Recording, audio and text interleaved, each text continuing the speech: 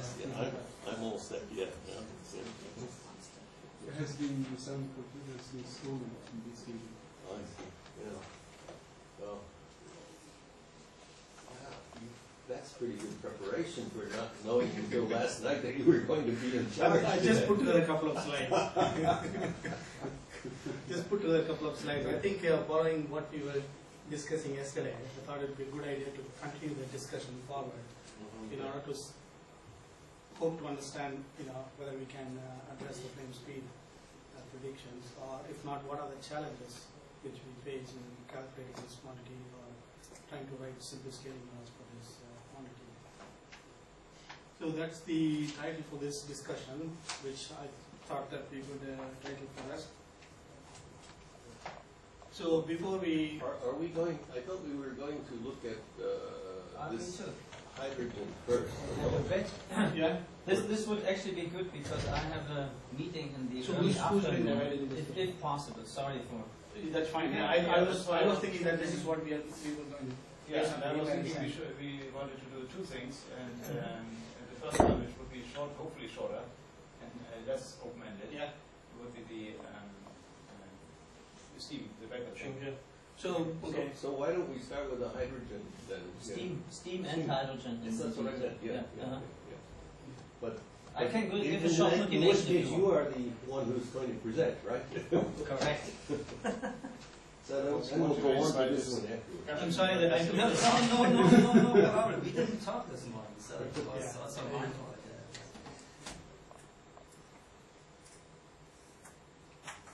I, I just want to show a few slides for the motivation, okay, to explain uh, why we are actually interested in, in this uh, type of combustion and what the current challenges are.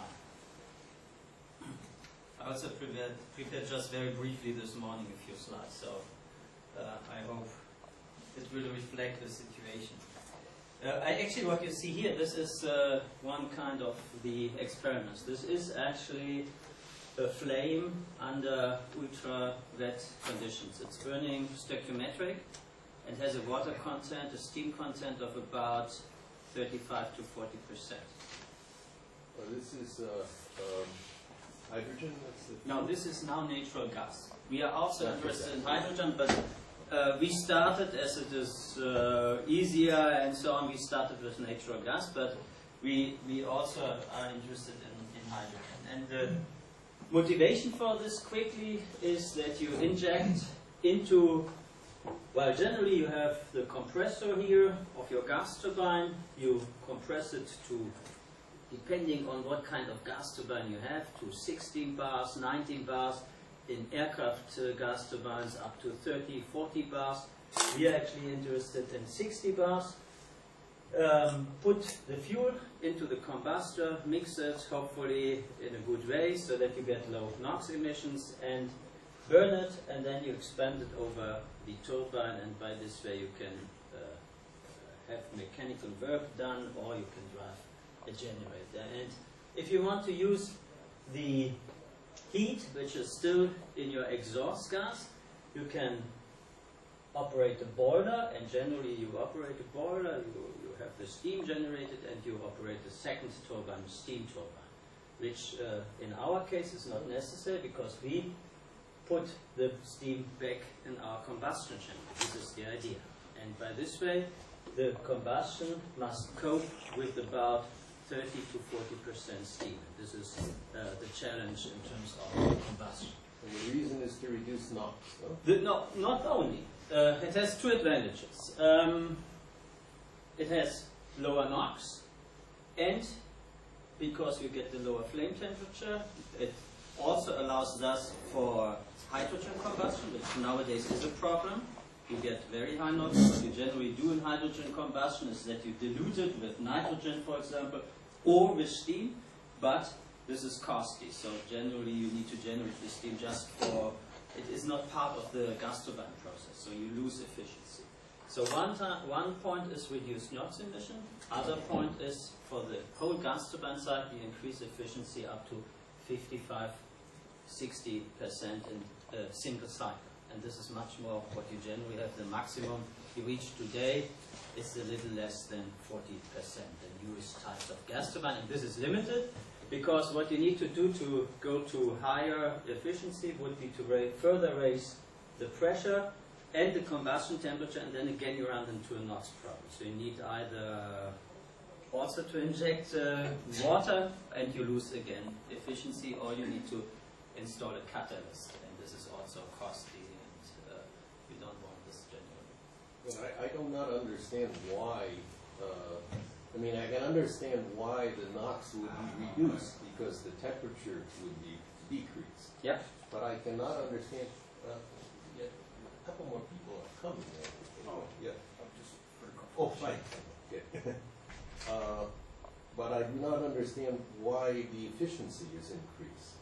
Why, why is the efficiency? What you generally have is here that you do not burn at stoichiometric conditions. So you carry a lot of air through your gas turbine, which is not participating of the process, but you just use this air in order to, to cool down your flames. So you have a, generally in such a gas turbine, you're operating at, at an equivalence ratio of 0.5 which means you have twice as much air as you need for the combustion process. Therefore, you carry a lot of air, and this decreases your efficiency. So we run here stoichiometric conditions, and the steam, in addition, enhances your efficiency. This is the reason why you increase your efficiency.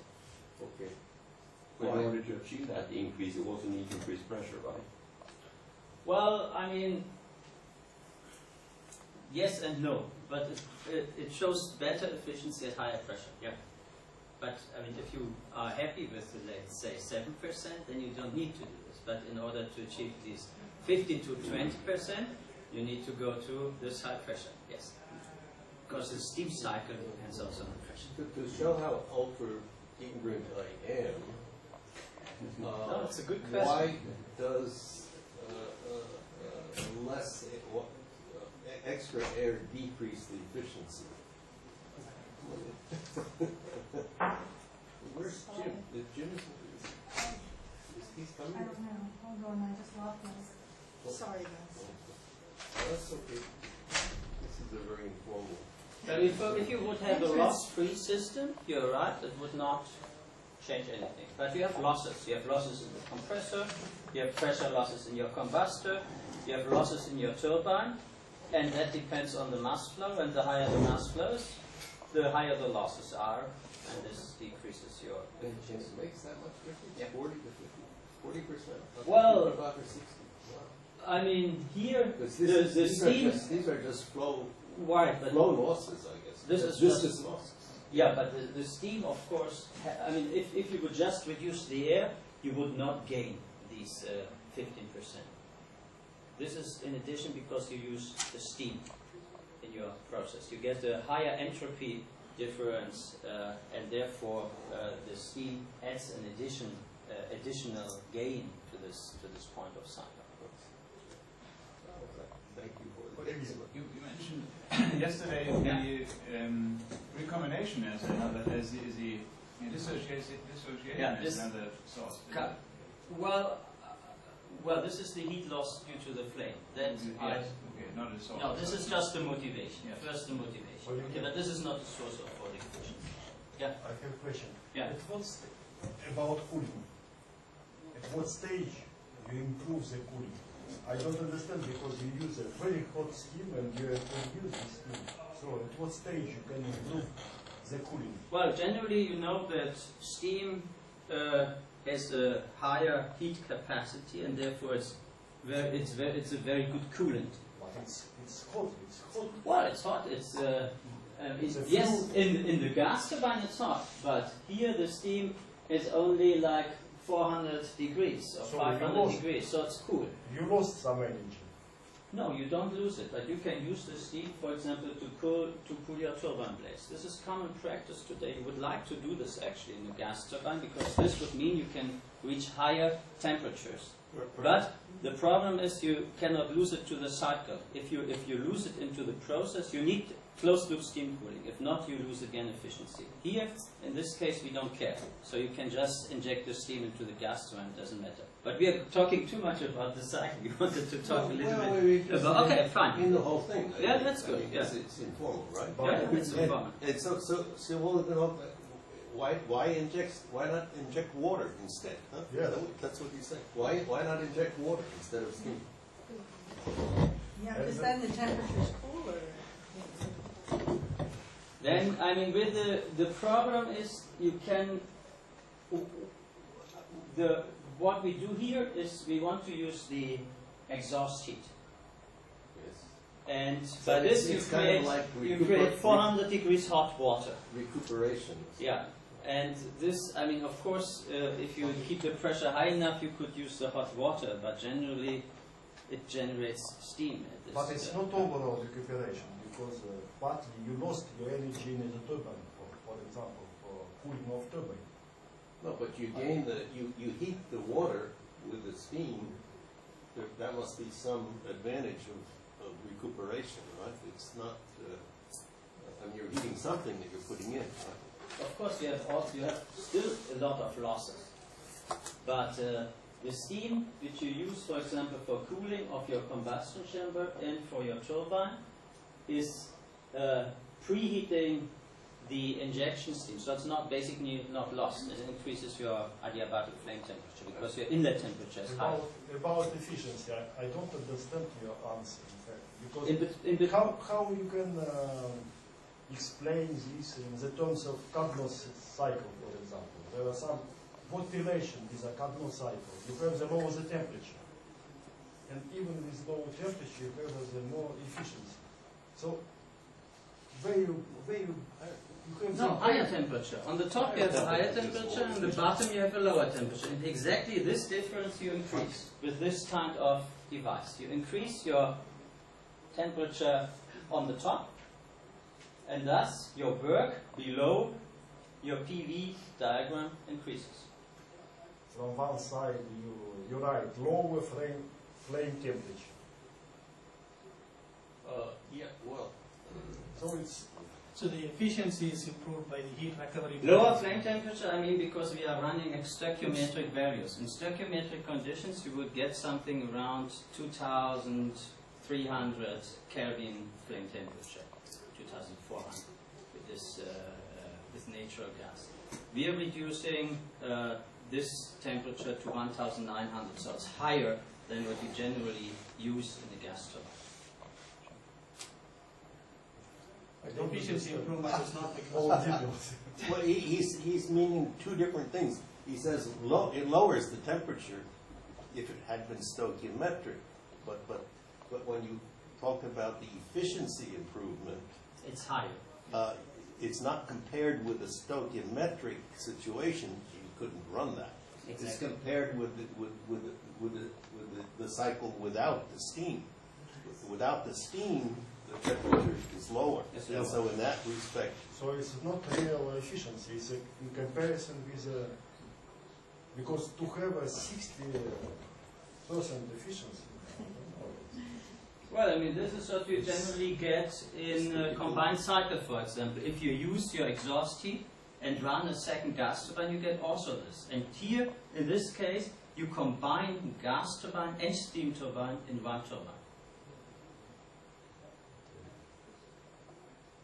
For me, if you use, the- if you use uh, the flue gases, Mhm. recuperate this energy, you increase the temperature also, so.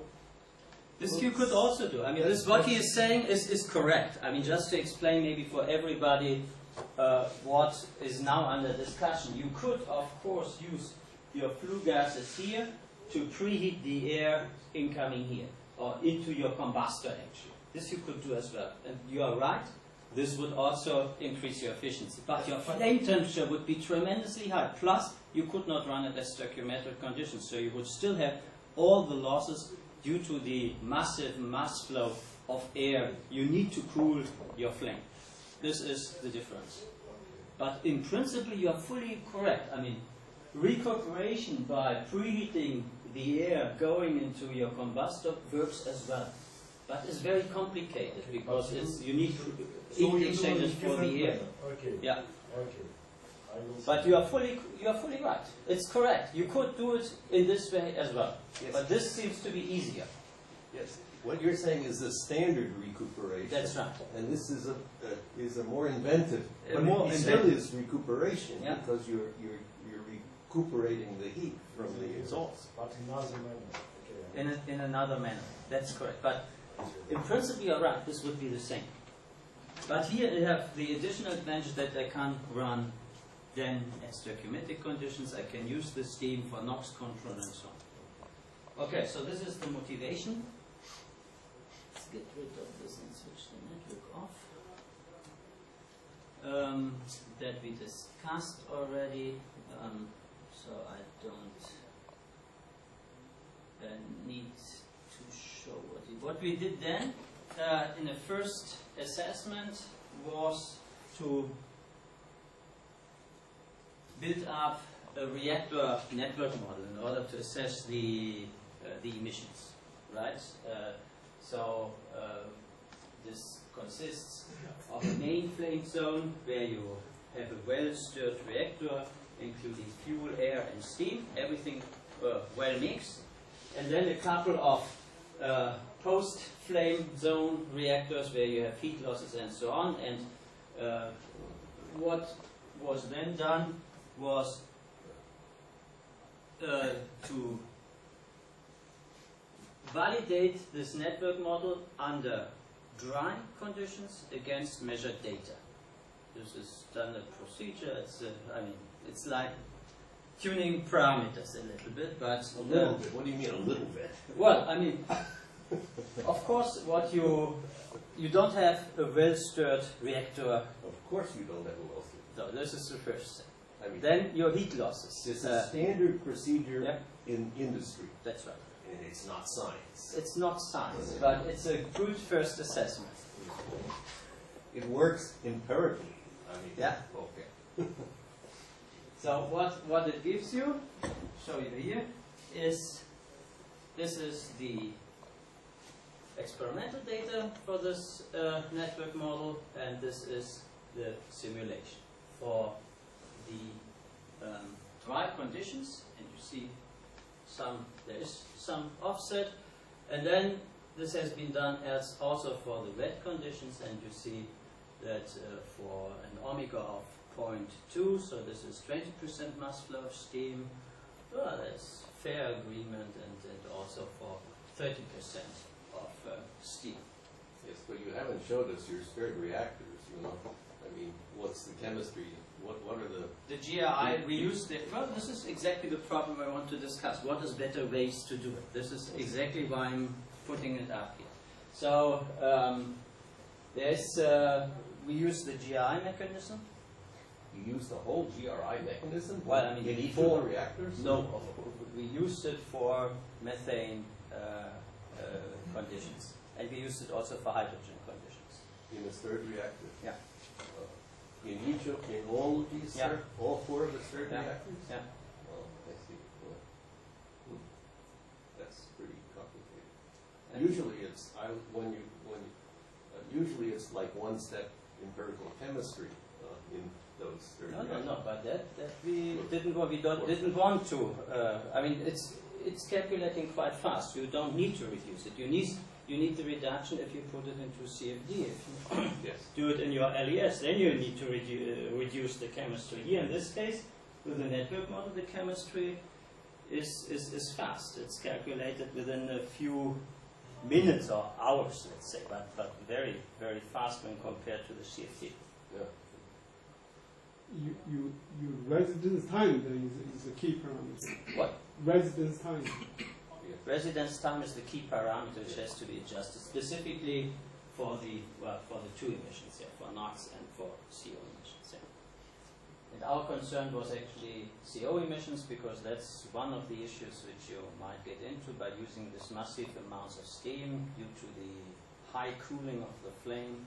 Um, but uh, that was also prevented to at least some extent. So this is this is the way we did it in the first assessment, but of course uh, we would like to do it better, and this is why I'm bringing up. So this is one of the issues which uh, we are concerned about, and the other other issue is, for example, um, where is this now? Well, predicting flame length, for example, would be of interest, and uh, I want to this temperature issue want to bring up. Where do I have this? Um,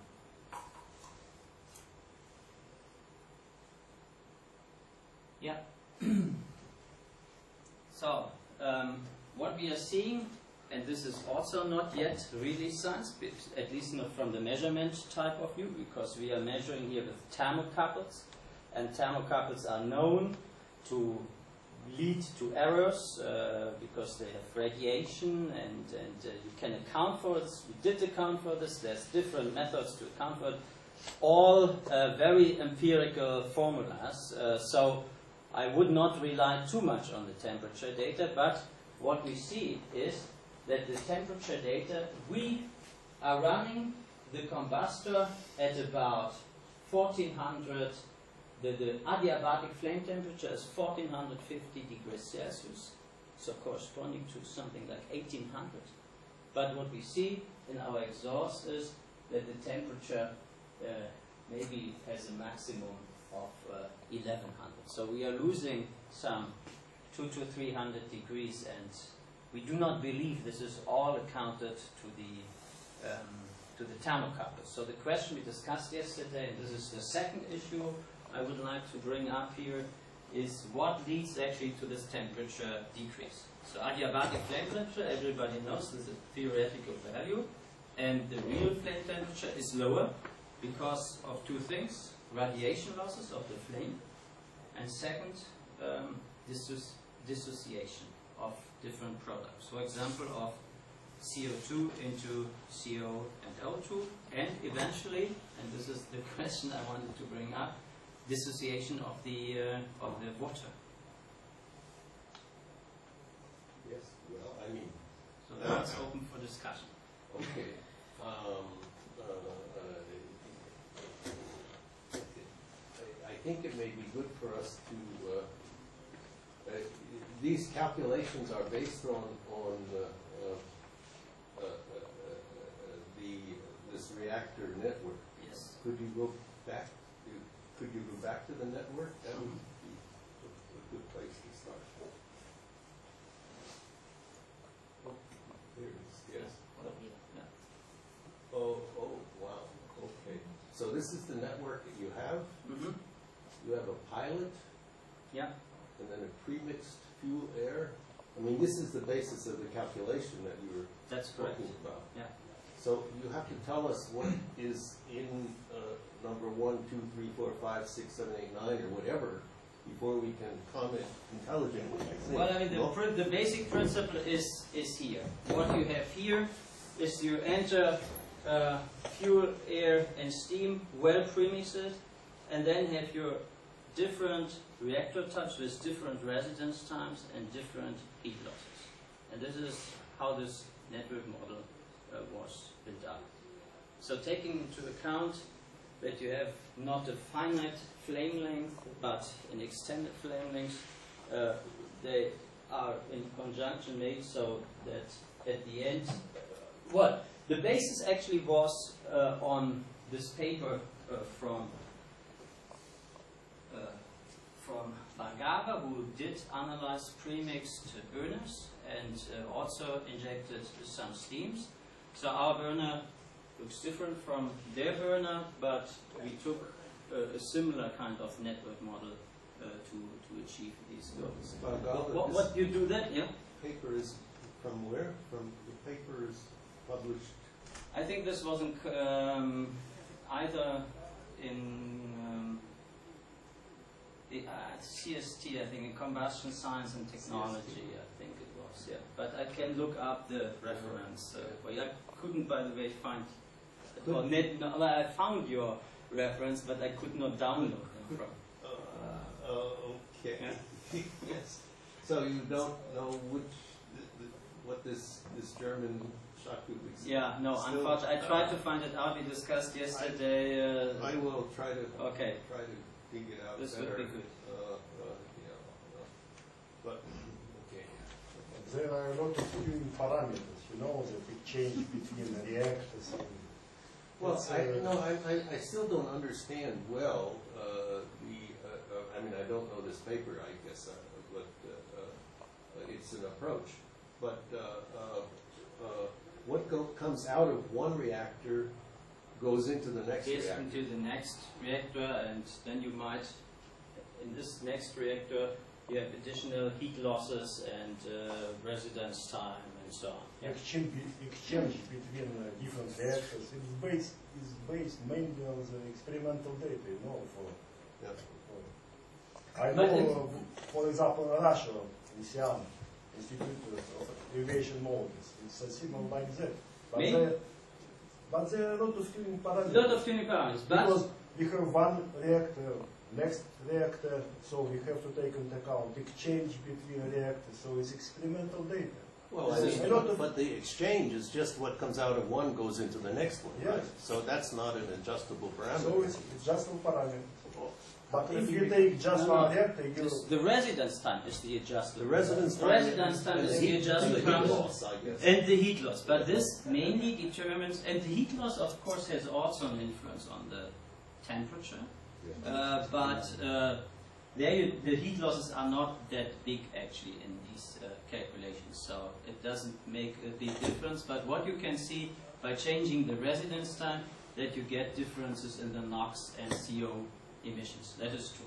But for the flame temperature, it doesn't change a lot. The theoretical flame temperature, the, the adiabatic flame temperature, remains is, is not that much affected.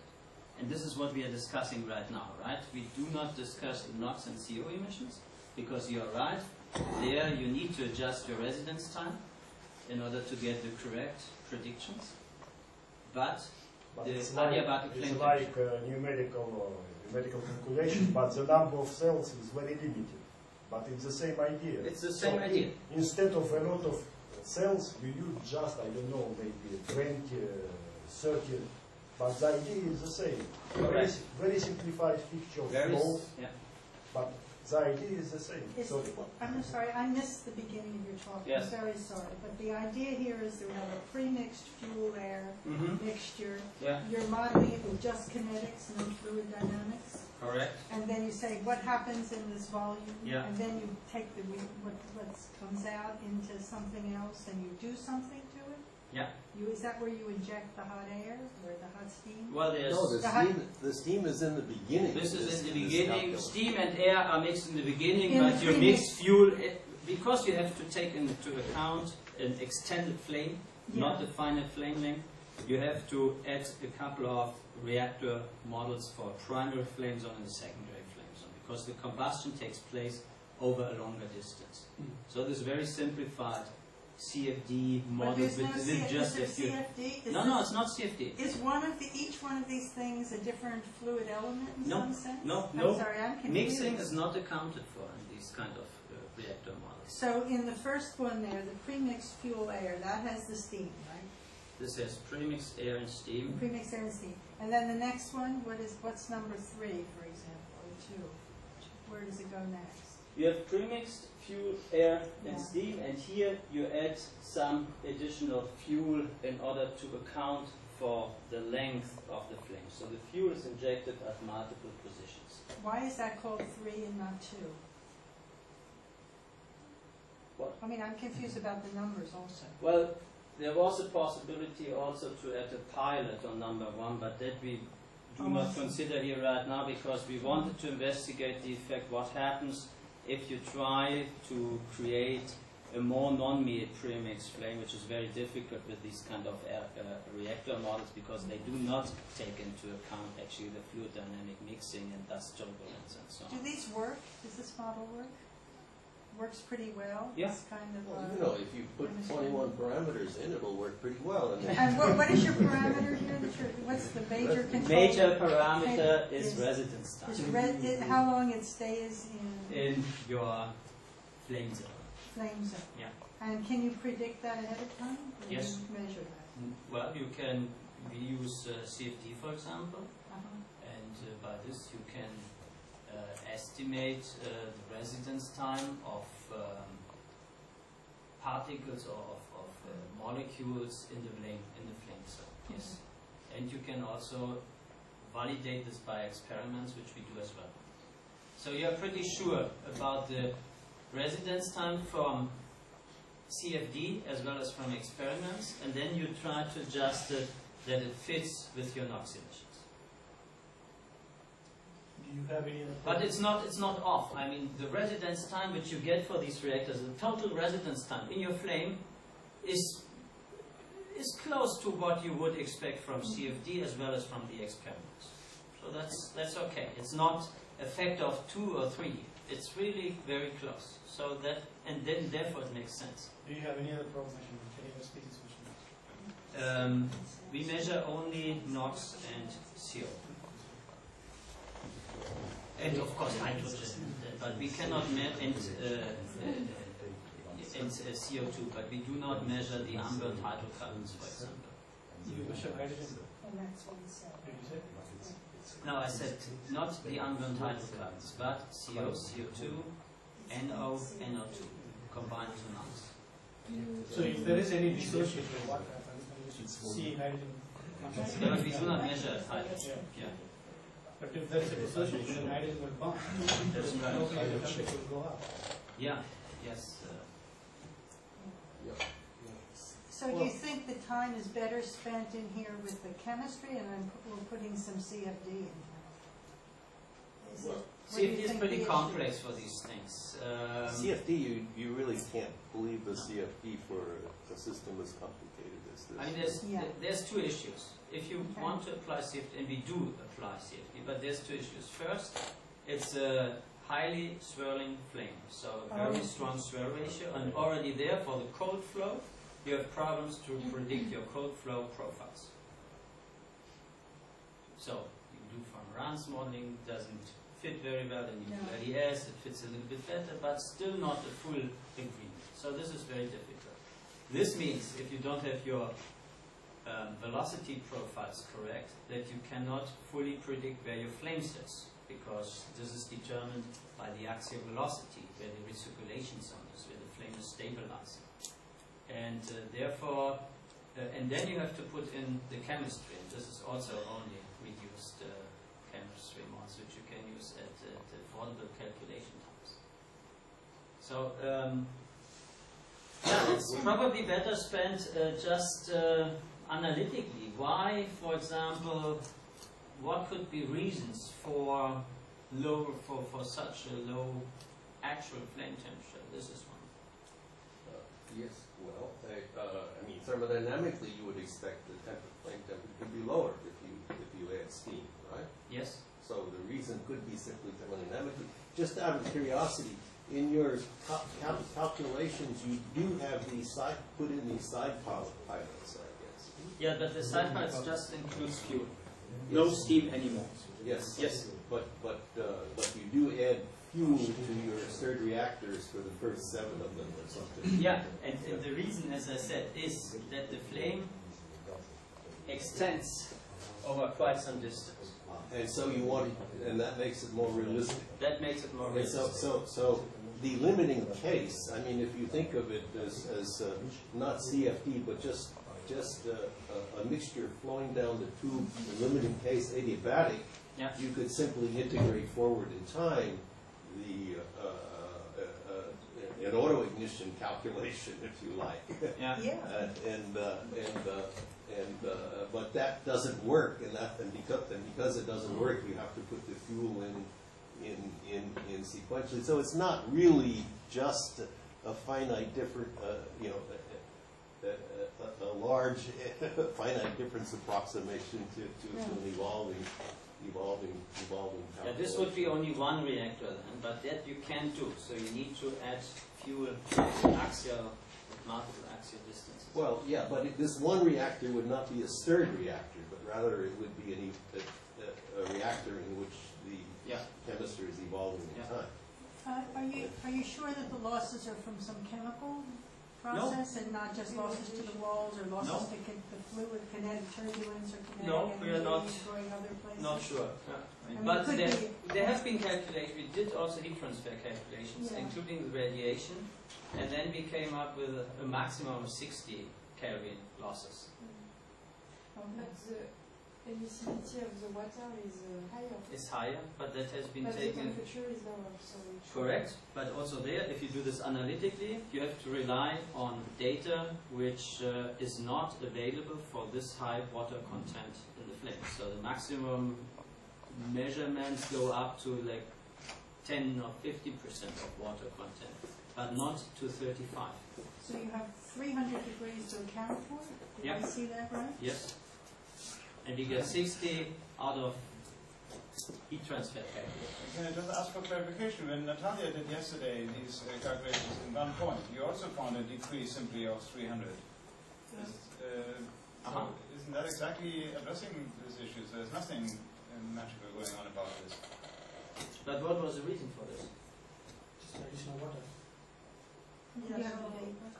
So I, I made three experiments, so groundwater, water, water, ten percent of water, and uh, thirty percent of water. Okay.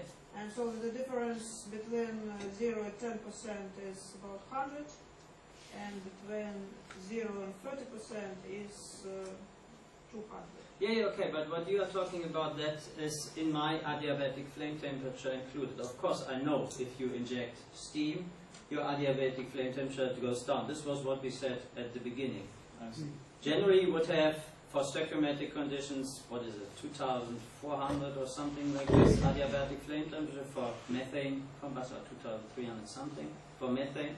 But inducing the steam lowers it to something around 1900, 1850. And then it goes lower than that still, you mean? Yes. And by how much is that then? That's the 300. 300. That's the 300. We, we, are not, we are not knowing where they are. Yeah, exactly. Yeah. Yes. Yeah. No, no, that, that has been uh, accounted for. Yeah, right? yeah, sorry. Of course, and the more steam you add, the lower is your adiabatic flame temperature. It's fine, 5%, it's a little lower, and then the 30% we are at this value which I just mentioned. And, and this is not just heat loss then? No, we don't think so because the assessment, analytical assessment of the heat losses in this combustor of this length accounts for something like 60 Kelvin, but not for 300.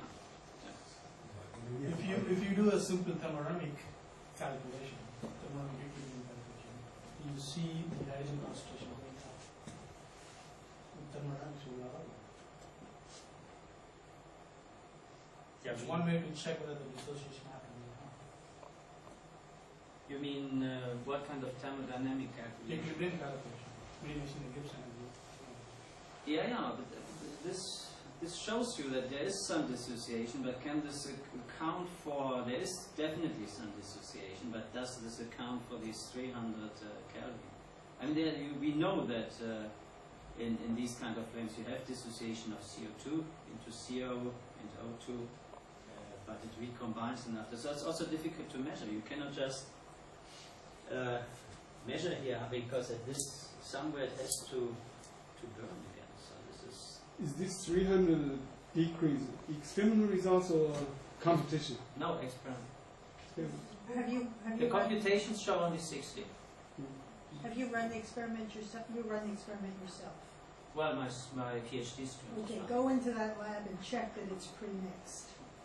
Well, this is I know. This happened to me once. Yes, you are right. It's a good It's point. un- It was unreal. I got, I got up in front of a whole audience trying to figure out what was the matter, and the student hadn't turned the fan off. Yeah, you're right. All of the directors of the lab, it was horrible. I told you that. This is how the combustor looks in principle. Okay. And here comes about a meter uh, tubing and some high turbulence, Mhm. and within this uh, about a meter upstream of the of the burner actually, uh, steam and air are and fuel are injected. Right, and then it uh, has about half a meter to a meter to uh, to be con- uh, convected into the into the burner, and in the burner you have a number of slots and so on. So really high turbulence levels, about 40% uh, of the mean flow turbulence, and that should should be pre-mixed. But we do actually also um, we did also do uh, measurements by running a probe through here to see the mixedness level by uh, having a tracer gas injected upstream, and this shows uh, quite um, shows that it mixes very well. Of course, it's not 100% ideally mixed, but it is. Uh, the the differences are very small. I would like to return to the idea. Yeah. You know very well that when we mix the steam with uh, like syngas, we have the problem of pyrolysis and Mhm. coking. Do you have in your experiment in this idea? Because we have a reforming on fuel, so Yeah. some we have uh, some coking on the in the burn. Yeah, not likely, I think. Well, you s- you're, you're not fuel rich, are you? You're, No. you're stoichiometric. But even stoichiometric, you know, for example, for scramjet, we try we try to reform the fuel like uh, methane, and we have uh, big problems, big problems.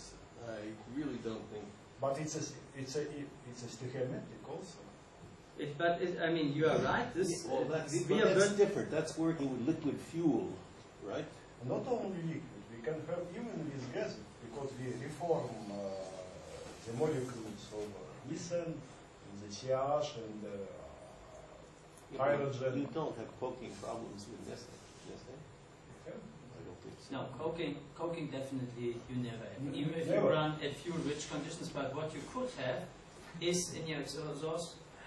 Um, what, what is it again in English? The word for uh, what? What is the formation, especially for s- for liquid fuel? This, the smoke you get. How do you call it? Soot? Soot, yeah. You could. You, this is another question. This is also what we came up with. Maybe heat radiation is higher, what we think, because in addition you have soot. Oh, you have soot. Well, I, I'm, of course, there, mu- there is always soot, but in, we thought in methane it's very low, actually, the Yeah. soot formation. Yeah. But as we are run, I mean, in, in, So you in have a lean lot of- framing frames, soot is really not a of soot. problem. And we do not see any deposition in terms of coking or so. No, no. That definitely we don't see. But soot forms, al- of course, also in methane combustion. You have But it's very low levels. You have soot emissions? We cannot, we didn't measure them yet.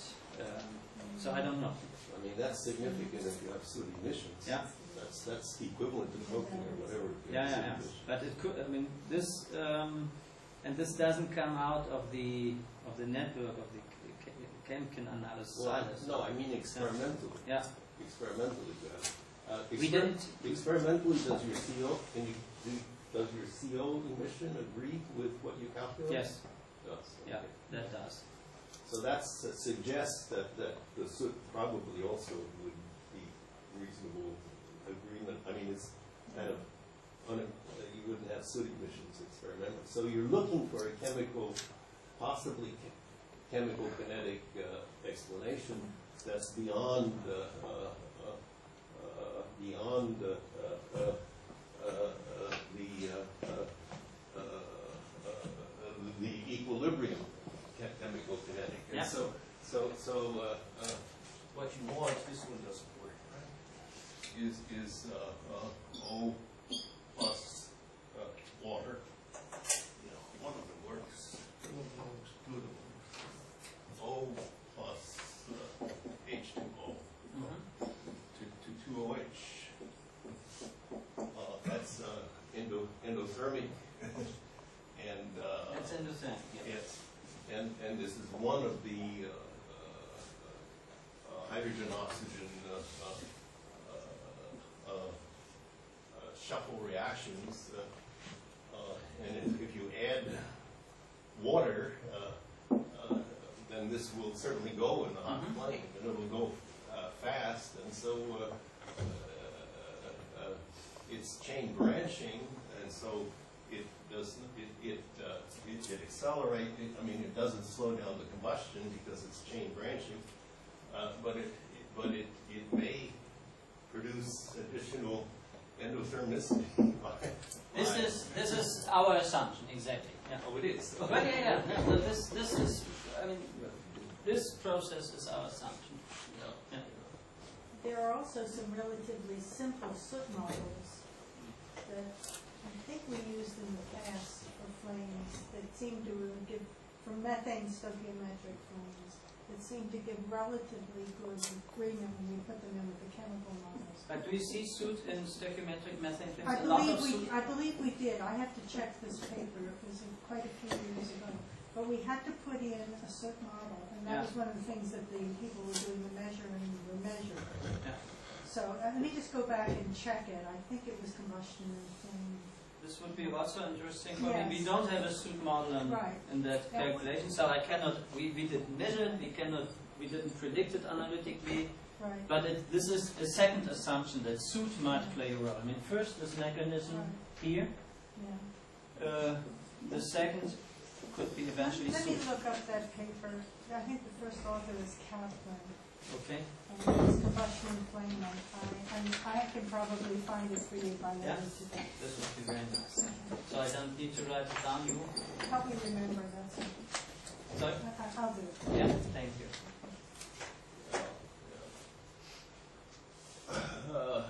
Yes, and so, so, uh, uh, uh, uh, what could be wrong with the calculation is what you're, what you're asking. And what- Well, I mean, if this is the mechanism, what we would like to do now, in the next step, is to where's this flame again? Uh, Is to measure along there, this flame, the uh, OH concentration actually. So this is one of the next steps to look into. And this would somewhat indicate, That would be very helpful. that Yes. would be, this is uh, Yeah. planned for, Yeah. in, in four weeks or so, yeah.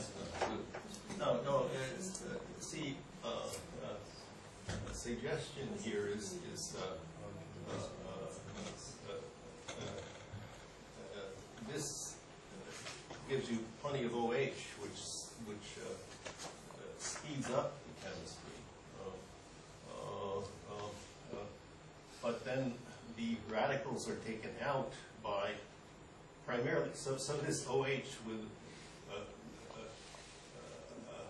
will, will generate H, you know, through, through the shuffle reactions.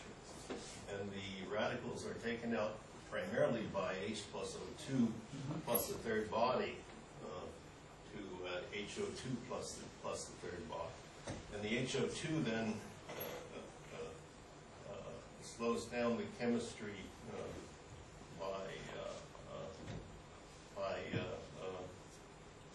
removing radicals and, and eventually uh, will making stable, uh, uh, well, we can continue the, the chain, but, but making stable products with, uh, by forming, uh, you know, forming H2 and O2. But they will recombine again to water. Uh, well, yes, it, uh, but the question is how fast, I guess.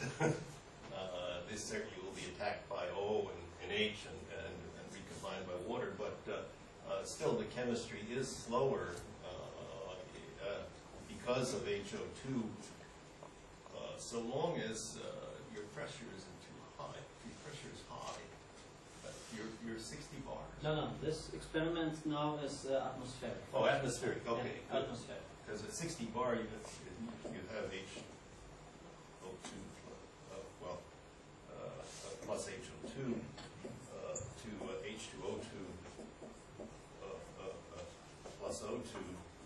Followed by uh, H two O two, uh, plus M to, to, to, uh, two O H plus M. And, uh, that, uh, uh, uh, that regenerates. So, so what you're seeing in, in atmospheric maybe is, is likely to be very different from what you see at sixty bar. But in your atmospheric experiments, then, uh, if your calculation has the wrong third body efficiency, uh, most, a lot of these M's will be H two O. And the efficiency for H two O ought to be like sixteen compared with, compared with, with nitrogen. Mhm. Uh, Whereas I think the high, except for San Diego mechanism, the highest number you get is twelve. Uh, And, and so uh, sixteen will make this go faster, which will give you uh, more uh, chain termination at, uh, at uh, atmospheric pressure, atmospheric experiment, and that will slow down the, uh, the, uh, the chemistry, and so that, that may be a source of eventually decreasing the The temperature. temperature. But you're saying this effect would be less prominent at higher pressure? I would think it'd be less prominent at higher pressure, uh, well, uh, uh, uh, uh, uh, simply because of, of this step at, at sixty bar certainly is a fast step. Um, And so that uh, HO two is no longer, you're above the third explosion limit, and, and so HO two is no longer the mechanism for, a mechanism for, for getting radicals out. At, at, the- under those conditions, the important, under the higher pressure conditions, the important uh, uh, recombination steps would be like, uh, uh, oh, well, this, did I write it down? Yeah, H plus OH plus M, H2O plus M uh, is, uh, uh, uh, this is more of the way the radicals would go out at the higher pressure. Uh, And this is uh, exothermic. uh, And so actually what you would want for high pressure, for, for, uh, here, here to get agreement, you need an increase. So you have an increase, the uh, uh, third body efficiency here. Here you would want to decrease the, the third body efficiency uh, uh, associated with water in order, at high pressure, if you wanted to uh, slow down, slow down the chemistry or Mhm. decrease the rate, the, the rate, rate of, rate of heat release.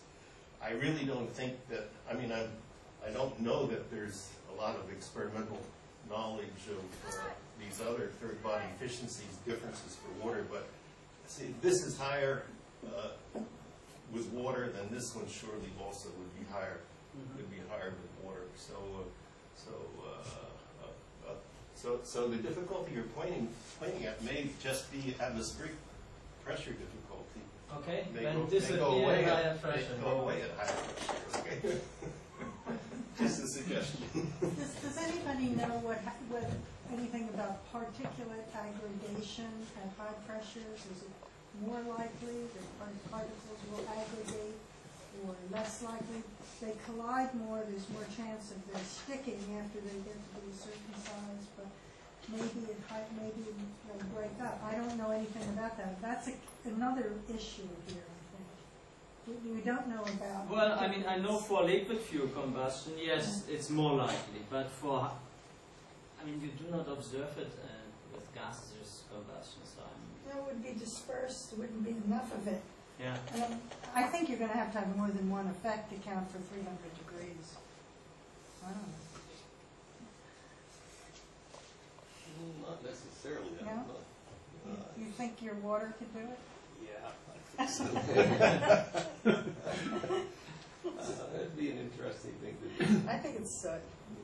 Okay, so you, you're thinking it's good, Ve- very good, I because don't we think- had this discussion. I don't think so. a week ago, together with my, my students, we discussed it also, and these two possible mechanisms come, and I always said, soot is not playing a but it's right. I mean, stoichiometric is something different. I'm used to lean frames, and they definitely don't have any soot problem. You have it very small, but as also you said, at stoichiometric conditions, there might, there might be.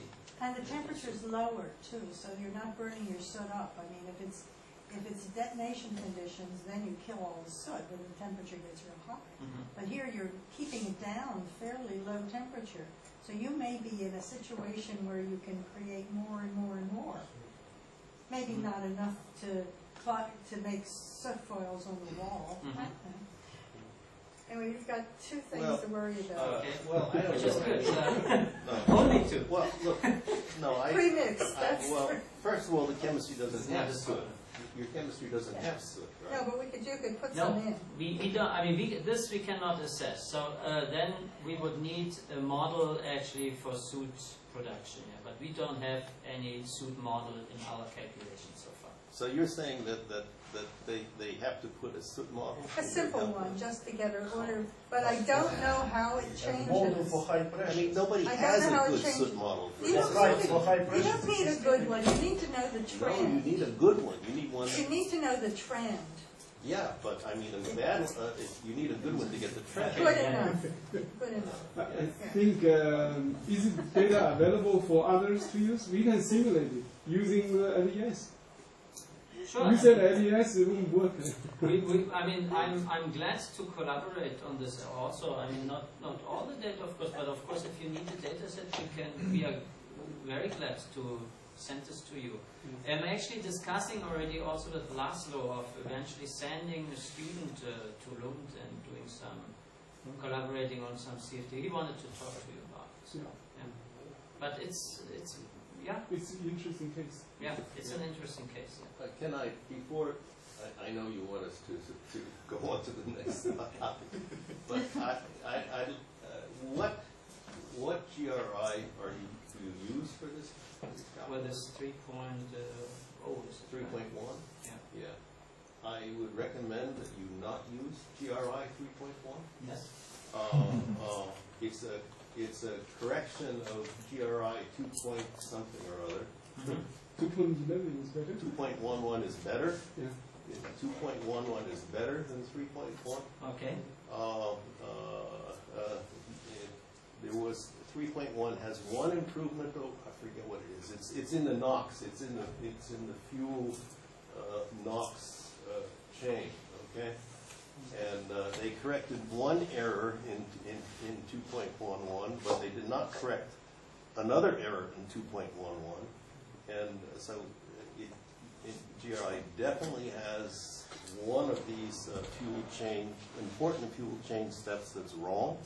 Uh, uh, In, in two point one one, it has two errors and they cancel each other. Uh, In in three point one, they corrected one of the two and now they get, now they get wrong results. Okay. And- so uh, two point one one would be better. But if you want to use the best mechanism, San Diego will pass. Or uh, we also have some experience with uh, GRI. Yes.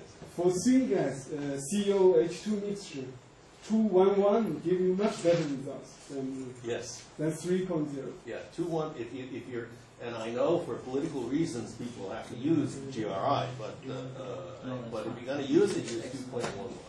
Why That's good to political, hear. if it gives the wrong answer? What? Why do you use, why do you have political reasons for GRI? Everybody has to use GRI, I don't know, because it was done by the Gas Research Institute, and it's the industry standard, and the US spent thousands of millions of dollars to do it, and so it's what you use, right? Uh, So, uh, But, but but your, your San Diego mechanism, is that also good for syngas? it should be as better than, than GRI for syngas. Is it available also for, I mean, is It's it, for example, so, yeah, yeah, yeah, but I mean, is it included, for example, in these models like Cantera, which you Yeah, use for yeah, this? it is. It is, yeah. Yeah. So then, uh, why not, yeah. It's shorter also. Yeah. It's shorter, it's easier to use. Okay. It, it doesn't, what it doesn't have is, is, well, we're, we're, we're, it doesn't have the negative temperature uh, with, with propane. It it only goes as high as propane, and, and, and it doesn't have the NT neg- negative, negative, but we're gonna, we're putting that into it now, so. we- we- I think Maybe a short summary of, of what we said. Okay, the problem was this uh, temperature decrease, and we identified two possible mechanisms. One is this um, HO2 mechanism, and the other one uh, might might be uh, SUS. So this, uh, just to let you also know what we are doing. For this mechanism, we are going to measure along this combustor the OH concentration, which will hopefully give us a fair um, uh, opinion of, of what is going on. And about the soot, I'm not yet sure what to do. Maybe to include also a soot measurement at, at the end uh, of the combustor particles. Maybe in the first step, rather than having a complete uh, soot model uh, attached to this network model, which has also poses all kind of other problems. And you are saying this GRI 3.1 corrected one error, and therefore the 2.1 one is better because the T two errors cancel each That's other. right. If you want to. But I'm also going to look into the San Diego mechanism actually. Yeah. Hope this makes you happy. okay, thanks a lot. I think I will be a very interesting discussion, that's all, yeah. So it's time to move on to the next topic, unless there is any major questions on the previous topic.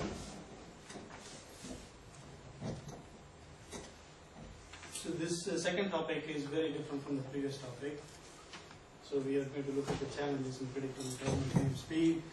Uh, this is actually a continuation of some of the discussions we had yesterday, what Poma was saying yesterday uh, uh, in the morning.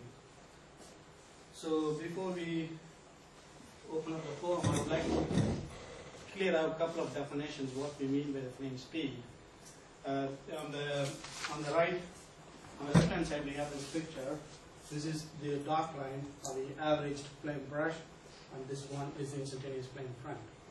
So if you write the instantaneous C equation in this standard form, the conservative form, and you can also write this in the propagative form, where we have this displacement speed, which is the displacement speed corresponding to this instantaneous flame front, thin flame front, which can be seen as a laminar flame in a corrugated flame regime. C is the mass concentration. C is the progress variable, which, which can be a normalized reactant concentration or normalized temperature. Mm-hmm. So, so how does this come out to be rho SD? What is the rho SD calculate? Rho ST is, is the definition of combined effect of these. So the, de- the definition of the displacement speed is the reaction contribution plus the diffusion divided by rho times the mod of the C. That's a de- definition of a displacement. Exactly, yeah. That's the standard definition everybody uses in, in Norbert Peters book. It's the same. C, C is a progress variable. Oh, progress. So you can choose a particular value to define this flame front, for example, 0.8. So in some other sense, you can also define a density weighted displacement speed. This is the displacement speed. If you associate a thickness to the flame front, then you can have this on the leading side of the flame front, on the cold side of the flame front. Okay? So these two are commonly used in the, in the, in the literature. This one is called the density weighted displacement speed. This is the displacement speed for the flame front. so in a statistical sense, what we are after is the average field, the average flame brush, which is denoted by this strong, uh, the, the bold lines as you can see there. And then this corresponds to C tilde equal zero. that corresponds to C tilde equal one. and that side is the burnt side, and this side is the unburned side.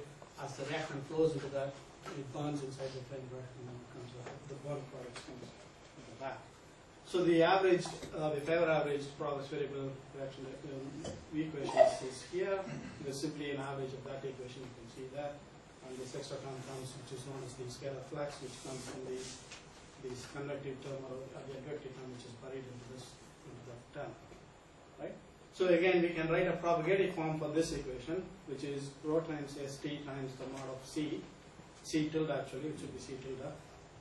Okay? So this is the, uh, turbulent flame speed, which can also vary as you can see from one location inside the flame brush as you go through that. Okay? So the definition as you can see, you can equate this to this to define a particular, to define the definition of the But to find- turbulent, turbulent displacement, uh, uh, uh, speed, I guess. huh? This is the displacement speed, yeah, turbulent displacement speed, or the displacement speed for the mean contour. Which is, which has got contributions from the reaction rate, molecular diffusion, as well as the turbulent flux diffusion. Again, we can define um, uh, density weighted displacement speed for the mean field in this form. And, and C here is with a, should be with a bar. yes? See, yeah, it should be with a, with a tilde, not Yeah. bar, with tilde. No, Yeah. two. But the question is, it's very difficult to experimentally measure these quantities. This can be relatively easy to measure compared to these quantities. That's the point which I'm trying to come back, I'm trying to come and open up the discussion. So this, for example, if you have a very simple flame, statistically one D flame, for example, then you can calculate this. But nevertheless, none of the flames are statistically one D in practice. Hmm. But then if you use it for complex flames, And of we assume they are okay. Yeah. So how do we, in practice, we have a complicated shape, plane shape. So how do we go about calculating this? Because any model you write, this is going to pop up. This this quantity is going to pop up. So we need a model for it, Yeah. or we need to understand how to derive a model for it. Mm-hmm. And then how do we go about modeling that quantity? So there is another speed, which is called the consumption speed, which is which is only related to this reaction rate, mean reaction rate. So if you have the flame brush, then you can integrate for the whole volume, and then this gives you the mass consumption rate for the, for the fuel, which is called the consumption speed. This has been clearly discussed by Jim Driscoll in his review paper. If you can read Yeah, this, yeah, should be here, no? Somebody has to go get him and tell him we've changed topics. Uh, oh, oh, okay, why don't I go somebody, get do you want me to? I'll go get Jim. I, I, I'll go. So if you, if you define the consumption speed, which includes only the mean reaction rate, which is integrated over the complete volume of the flame brush. okay? So the difference between the displacement speed and the consumption speed is the account of the diffusion, molecular diffusion as well as the total diffusion. okay? So if you take a simple analysis with Kolmogorov, Petrovsky and Piskunov did in 60s, probably 40s, not 60s, 40s, which they have assumed the plane, of the flame to be a planar flame. So basically, you can put an averaged flame like that for that, and then ignoring all the curvature, curvature of the mean flame brush. And then, in addition to that, a stationary flame. Then the equation in the previous slide can be simplified to this form, a simple form, where x is the distance which is going across the flame brush. So still becoming in a minute, yeah. So this is for the statistically 1D. okay? So if you use a mass conservation for the statistically 1D case, then this flux, mass flux can be simply written as rho USD. And then by using coordinate transformation, by assuming this to be the gradient flux, uh, these three guys have written a simple expression for the flame speed, or displacement speed, which we usually call as flame speed. So we have to be very careful about what speed we are talking about, either the consumption speed or the displacement speed when we say flame speed. So, this is some kind of inverse uh, chemical time, the omega over dc multiplied by rho u. This one, Yeah, this one is the rate at which your reaction rate is going to increase or change in that location. Okay? Is the rate of the mean reaction rate which is changing at that. okay, I understand. And dt is the turbulent diffusivity, which is for that flux. And then rho u is the unburned side times diffuse. in. So in some sense, it coincides with the classical expression for uh, flame from speed, like tubular diffusion, uh, diffusion divided by some Chemical time scale, Yeah. that's right, yeah, yeah. But here we have tubular diffusion. So, yeah, turbulent right. And this, this is a result which comes of this equation after doing some mathematical Yeah. transformation, which you can write down. in a simple Mhm. simple form. Well, that, that, that assumes that the reaction rate is a function of C. C only. uh, which, uh, uh, I mean, there's an awful lot of detailed chemistry that's thrown away as soon as when you write, write this down, isn't it? Yeah. That, that's, that's why I put this question there. But, but this, this equation is only valid for, it's not valid for weak turbulence. We haven't assumed anything here. Weak. Weak turbulence or strong turbulence has not been assumed here. Yeah. All we say is, I have a statistically planar flame, all these guys said was statistically planar flame and stationary flame, then you manipulate the equations, then that's what you get. For weak turbulence, What- you, what- you should uh, add, And uh, just to, to take uh, sum of molecular diffusion plus turbulence. I think the, yeah, that's right, Yeah. which, which can be included in there as well by putting another, uh, Al- Also, in weak turbulence, you, your flame speed scales with u prime. Here, it's a square root of u prime. No, we don't know what, how to model this. Once you model that, then only we know.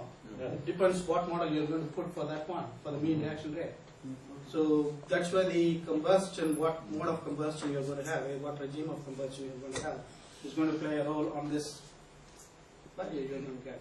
So if you assume a flamelet combustion or corrugated flamelet combustion, then it may be easy to write that using a eddy breakup model in a simple sense, in a very- in a very broad sense.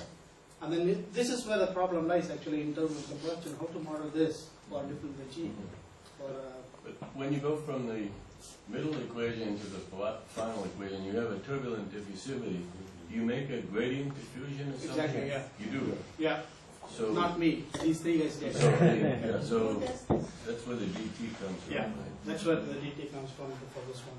So if you have a turbulent diffusion, then you can express this as a second order term, then you can define the derivative to one of the variables, and you can.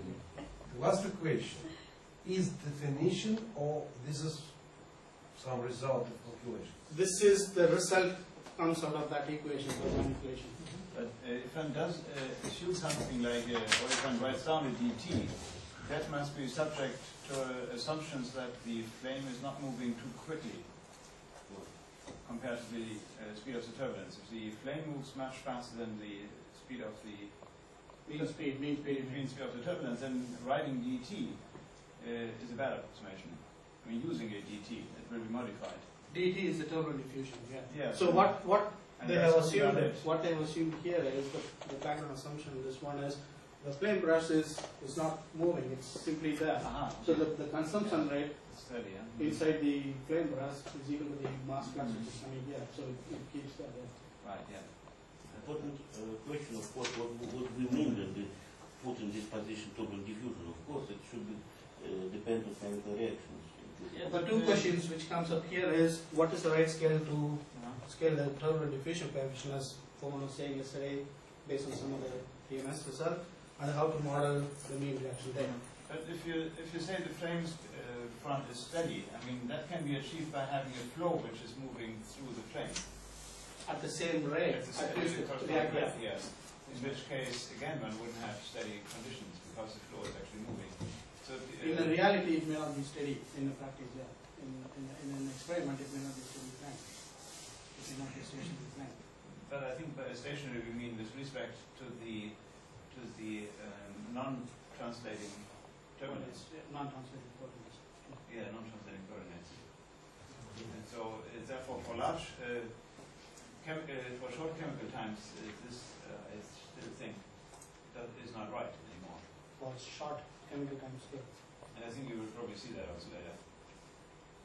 And before we move on, uh, uh, you can argue the KPP analysis just from dimensional arguments, right? If you, if you convert the second term into using the gradient diffusion assumption, you have three terms and just from dimensional arguments, You can write that. S sub t should be a function of those other You can, you parameters. can also write that, yeah. What I'm asking, what I'm, could you maybe say something about, uh, how do we know this KPP is right at all? I mean, there is no, there is no, I mean, some people accept it as the truth.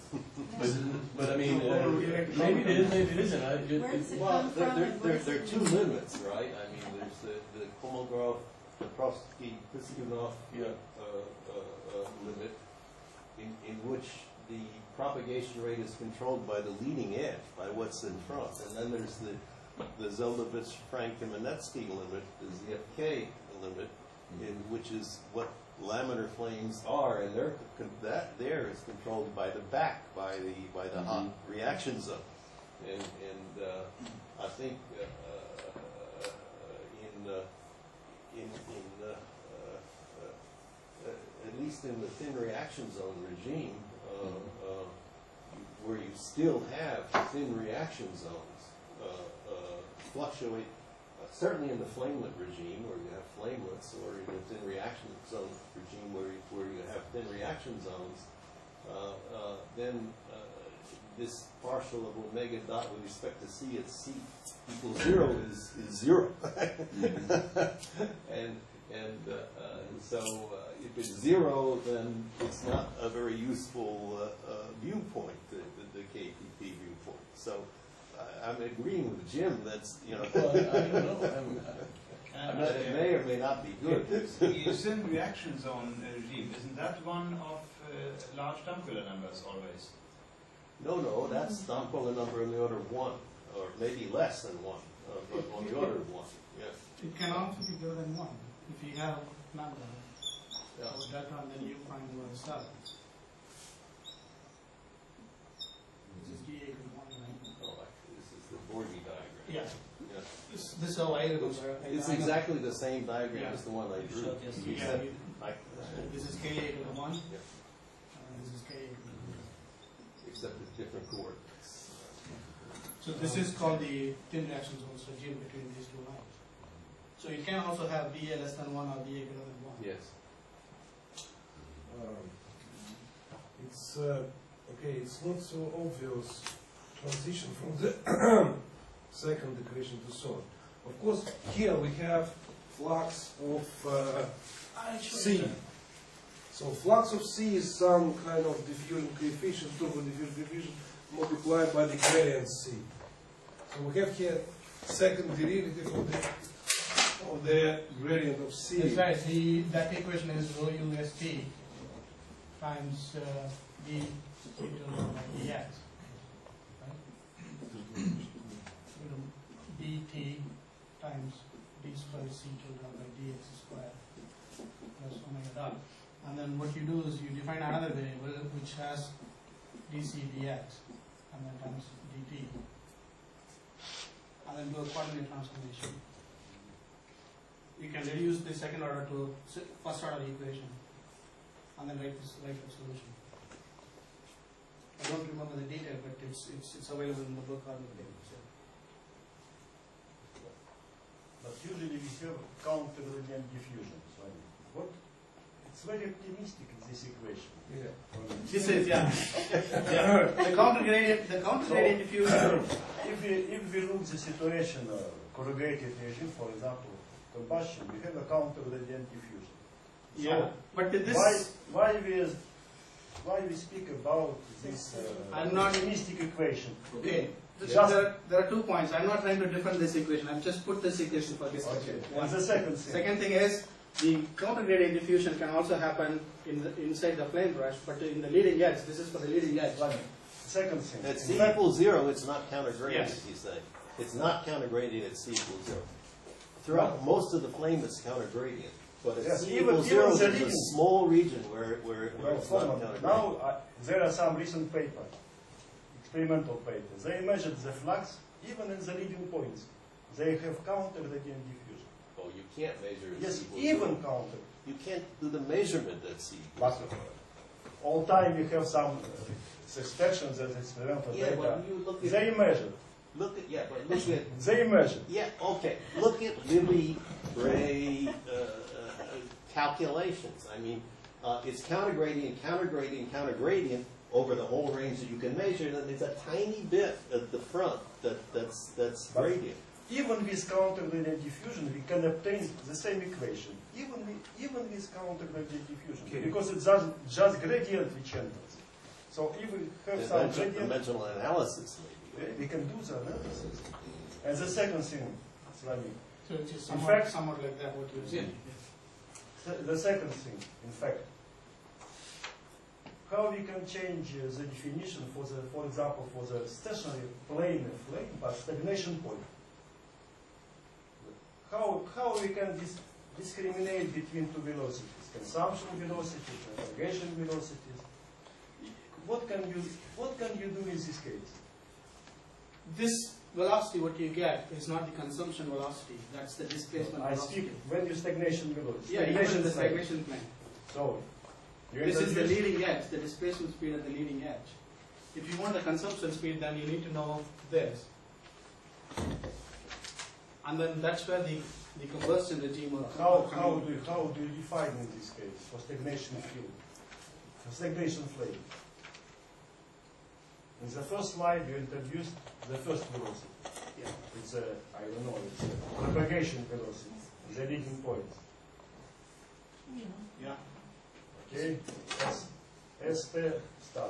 It's a propagation velocity. Mm-hmm. After you introduce consumption velocity. But they are the same, not No, they are for a planar plane, they are the same, for statistics. No, the plane flame, stagnation point. They are the same. Stagnation For, point. for planar No, plane, let's assume then it's the same. But, but stagnation point, stagnation flame also plane.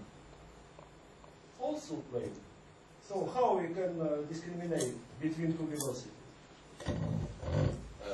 Actually, the, the propagation velocity doesn't exist for the, for the stag, only the consumption velocity exists for the stagnation. But, but we can introduce the same equation. No, but look, I mean, this, uh, uh, for the stagnation flame, flame, uh, uh, as c goes to zero, strictly speaking, uh, uh, distance and velocity go to infinity, okay? And so, so, as, uh, so this KPP result is, is irrelevant to stagnation plane. It's, it's not, not applicable to the stagnation plane. Mm-hmm. But we, if we integrate over the flame brush for stagnation flame, we have the fluxes in the, in the tangential direction. Yes, So which are it's- not present in here. It's, this equation is not correct for this. That's what I say, yes, I So- agree. It does, that's, we are saying the same thing. The equation does not apply to Yes, it- stagnation it is not applicable. So to speak a lot of about two velocities for the case of plane flame, plane flame is maybe also very optimistic. So let's, let's go back to that case now. Instead of having a planar flame, let's have a, some curved flame. Okay, the flame with the some curvature, mean curvature. Here, this is the mean, mean contour of the C. Then again, you can, you can transform your equations from this coordinate into the local nominal coordinate. When you do the math, then what you get is this simple expression for the ST. Okay, the ST is the displacement speed of the leading edge, where you have the KPP contribution plus some curvature. Um, T, T is a turbulent viscosity? Yeah, this, this is the turbulent diffusivity. Due T over SC can be seen as a turbulent diffusivity. Where, how you obtain this equation? Vladimir? I don't understand. Okay, It's uh, it's, it's It's written on the paper, I can show you that paper. I explain it maybe in words. I mean, it's the Yeah, I'll, I'll explain that in a moment after looking at it.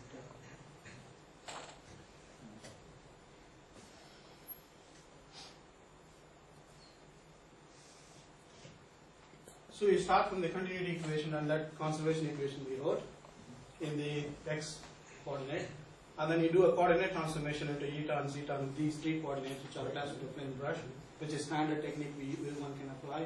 Then you can have that equation, and then that equation is rewritten in, in a different form there.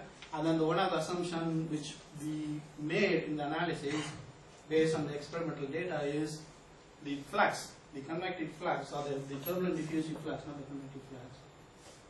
The turbulent diffusive flux in the tangential direction this way and then perpendicular to the plane of the slide in two tangential directions are small compared to the turbulent flux in the normal direction. can you give the references on this experimental data? Because I have another. Yeah, uh, the paper I gave you has that. Uh, but in order to It's get flux, you need to have, uh, to use the equation for fluctuations Yeah. of C. Then derive equation for the second law and for the E flux. Solve this equation using some closure hypothesis. You can do that. Then, and only then substitute to the mean field equation and get this. You're This is a standard way. we are complicating our life more than what is needed. Sorry? We are complicating our life more than what is needed.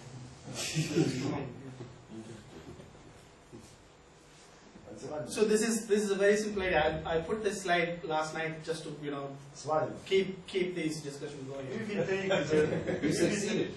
That's great. we return to the, again, to the stagnation flame. What we know that in this case, the input from the tan- tangential f- fluxes is not negligible. I agree. We, we know that very well. Yeah, the tangential fluxes are not But- negligible. I don't understand, because in general case, in general case, we have some velocity gradients. Yes. velocity Yeah. gradient, similar to the stagnation flame. So why you I agree the stagnation flame is important, but in general case it's not important. In general case, in general case, what we have seen so far is the curvature is not very But small. I don't speak about curvature. I, I speak about the velocity gradients. You mean mean velocity of what? Mean velocity. Mean velocity of what? Which can be similar. In a general case, for example, when we have a very intensive swell, So, sure, right. we can have the, the same velocity gradients as for stagnation plane. So we can't neglect this conservation flux. No, but, you know, this velocity, mean velocity gradient, uh, have, have two, two, there are two, uh, two roles for this.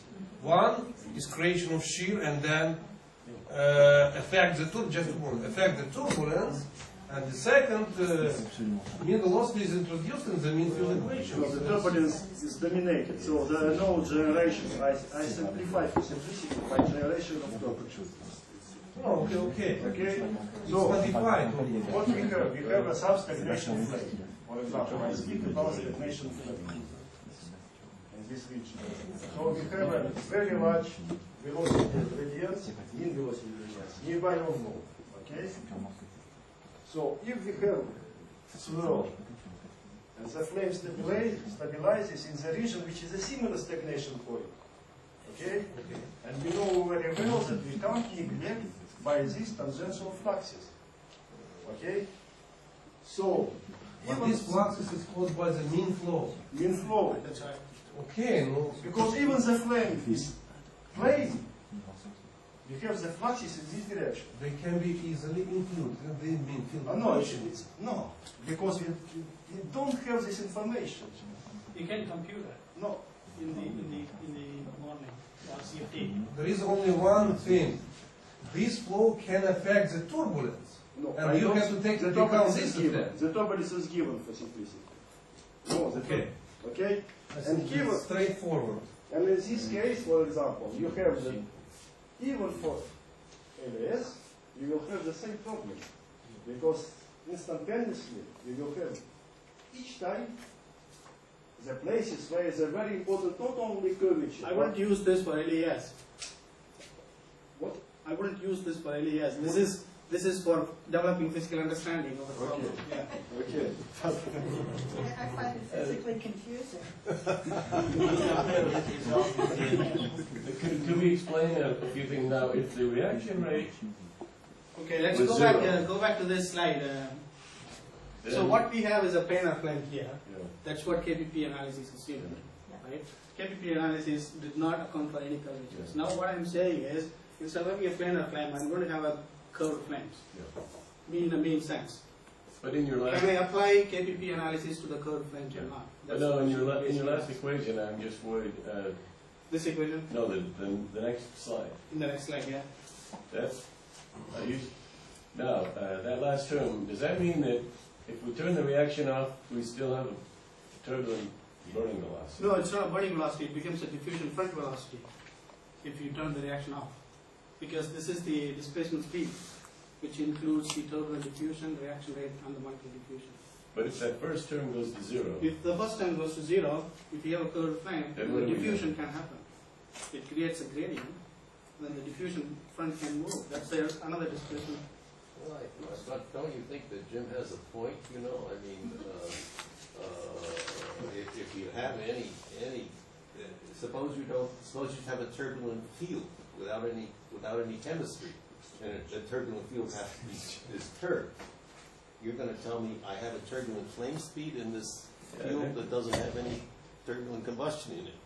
Uh, No, if, if there is no turbulent diffusion, even if there is no turbulent diffusion, then there is no speed, because that will go to zero in a premixed sense. no, no, but In a what, what premix- if you had, as far as I'm saying, what if you had isotropic homogeneous turbulence in a box? Yeah. But No then, reaction. But then this, Well, C- this R, it's- If it's homogeneous, then R is infinity. that's right. And Okay, we so don't that's have, a, we don't have this, uh, we don't have this structure oh, anymore. okay, all right. So, so, so take, take away homogeneous and now, now say. Okay, all right, okay. So if it's isotropic turbulence, but it does have some inhomogeneity, Then you're saying there, there will be a front that propagates, No, well, I mean, something will probably, I guess that just. if, if there is no, if in a, in a premixed sense, everything is mixed up uniformly. Yeah. So there is no gradient, there is no mixing even happening. So there will, there won't be any front moving unless there is Okay, a but burning. my, my other comment is that, um, I'm not sure we know anything more with this equation than we did before. Because what you're saying is if, if there's reactions and they go fast, the turbulent burning velocity goes up. But we have no idea what that d omega dc tilde is. Yeah, I agree. I mean, if, it if it's flamelet, it's one thing, if it's. The non, yeah, non-flame rate may be another thing, yeah, I agree. Uh, I, So I I, mean, I fully agree. I mean, Yeah. I like the, way- the, way- it just, it- I mean, it's, it's like a laminar flame formula, a diffusivity. But you know, in, in our result, But- it is nu t proportional to, uh, to chemical time, and in some sense, the two Yeah. factors cancel each other. Yeah, but I mean, what is the chemical time in it? Chemical time is, is derivative, just. The omega dc tilde is not a chemical, I mean, it's a, it's a chemical time, but It is a chemical. it depends on the turbulence. It is a chemical time. But uh, in all calculations of this, there is some problem. Could I Sure, yeah. several minutes, just maybe two minutes. I'd like to discuss.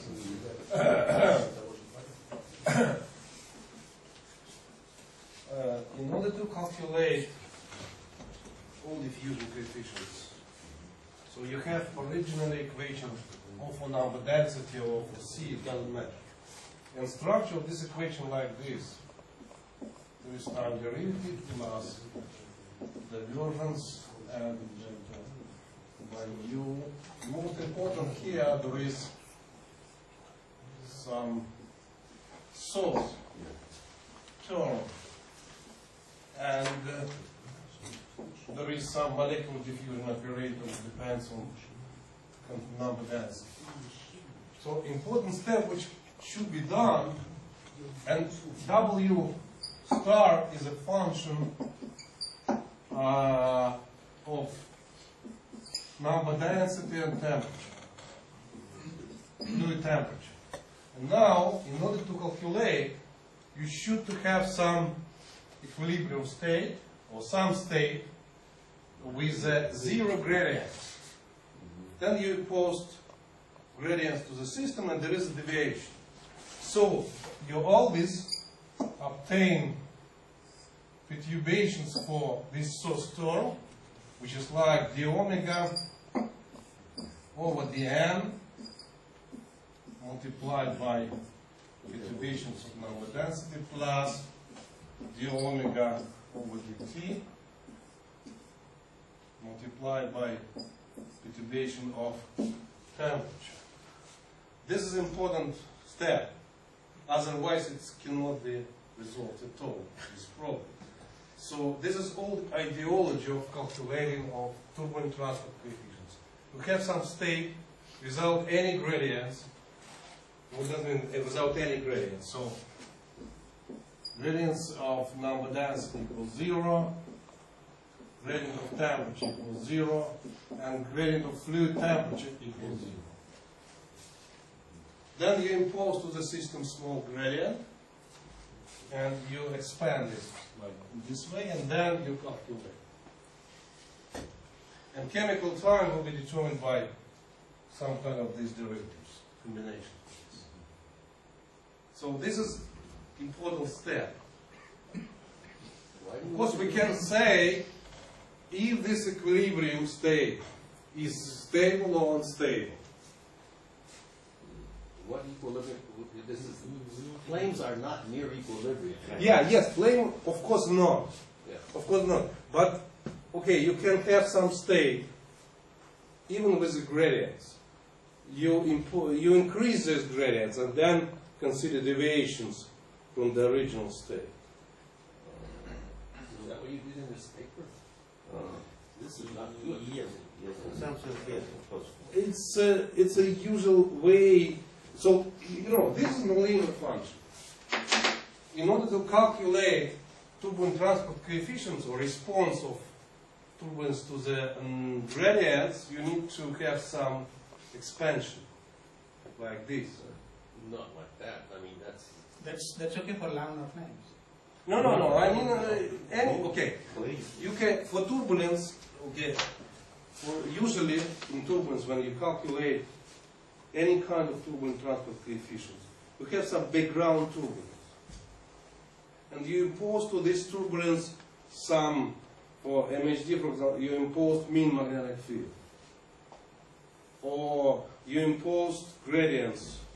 In a shear flow, you impose gradient of mean velocity. So, so what does And this, what's the relationship between this and the Zeldovich, Frank Kamenetsky picture of the laminar flame? I speak about the, the turbulent state, no, So the not about state has nothing to do with the laminar flame?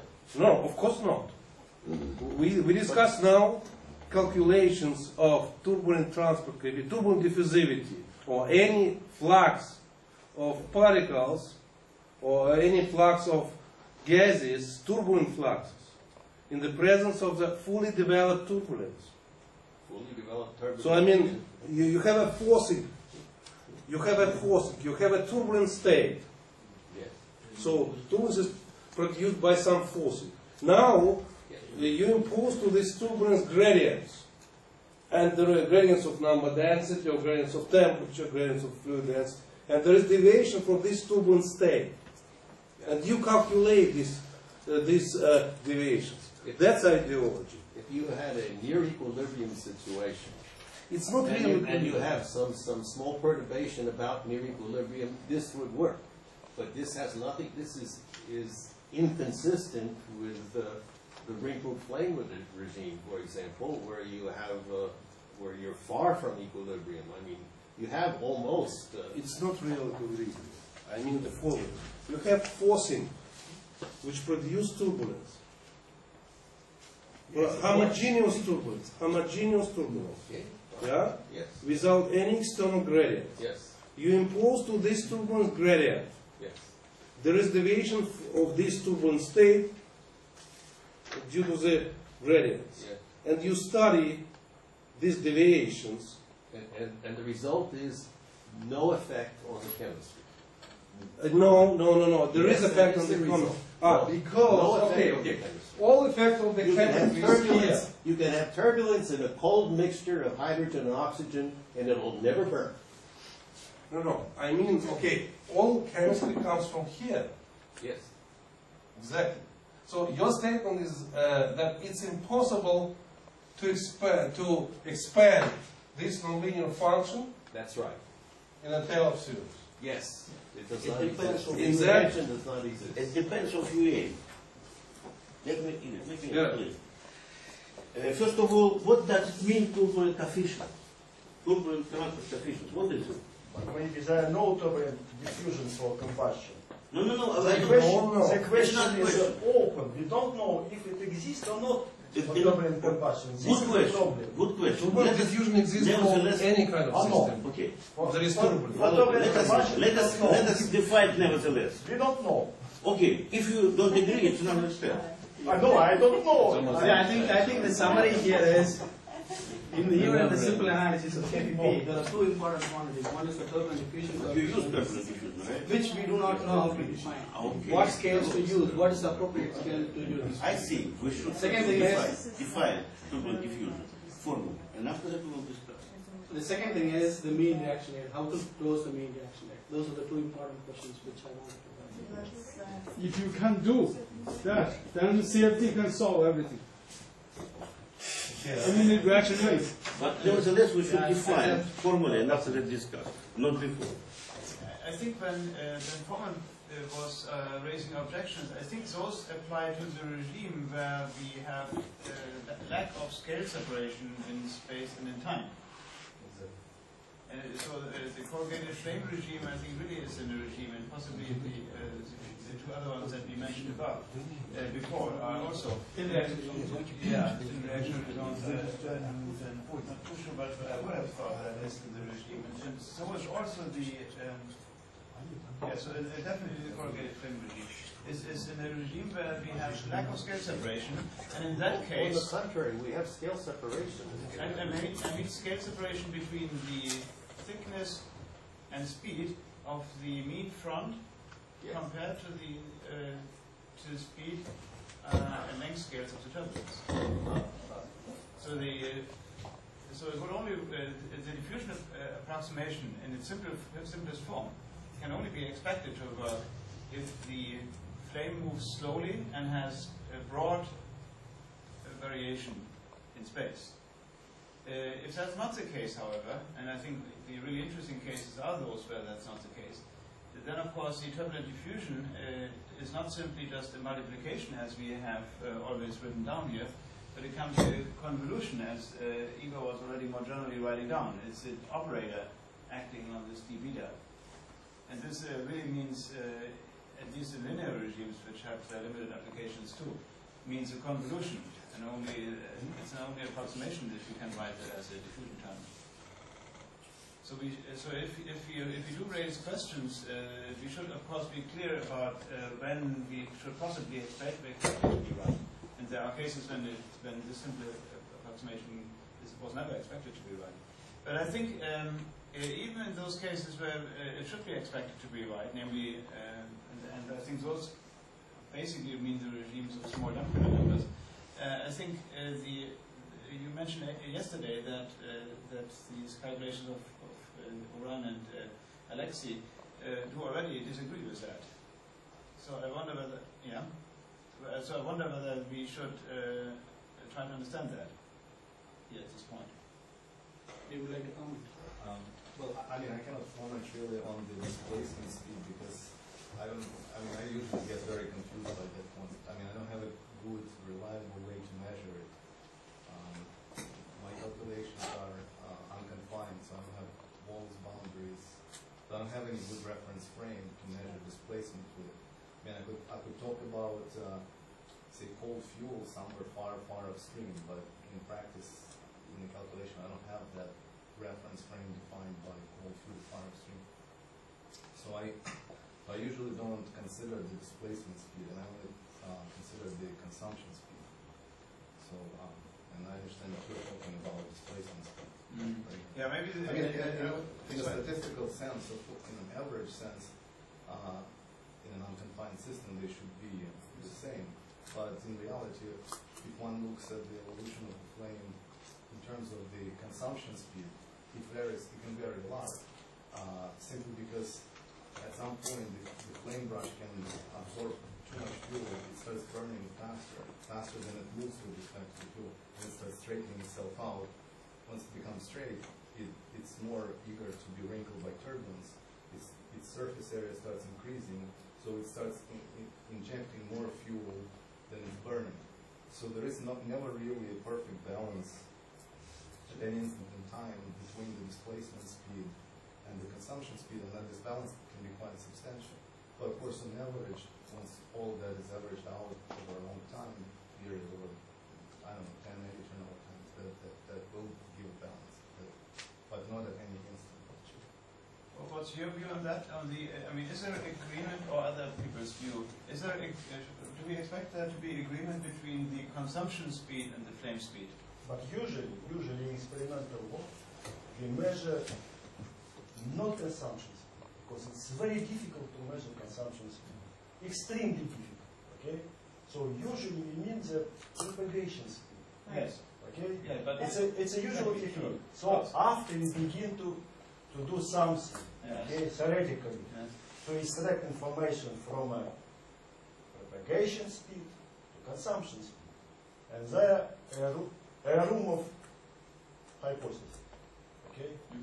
So uh, what is that? I would like I would like to write just one equation because it's very important. Very simple equation. Very simple equation to understand the problem. To understand the problem. Because when we speak about laminar flame, there are no problem because the thickness is very small, so everything is practically clear. Even we have a, we can to do some analytical work and to show that tangential fluxes are negligible. Very often, not all, all time, but sometimes we can do that. But what we have is turbulent flame. I write, I, I come back to the case of plane stagnation flame without curvature, for simplicity, okay? The equation we, so it's, it's Y, it's Y, it's Y, it's X.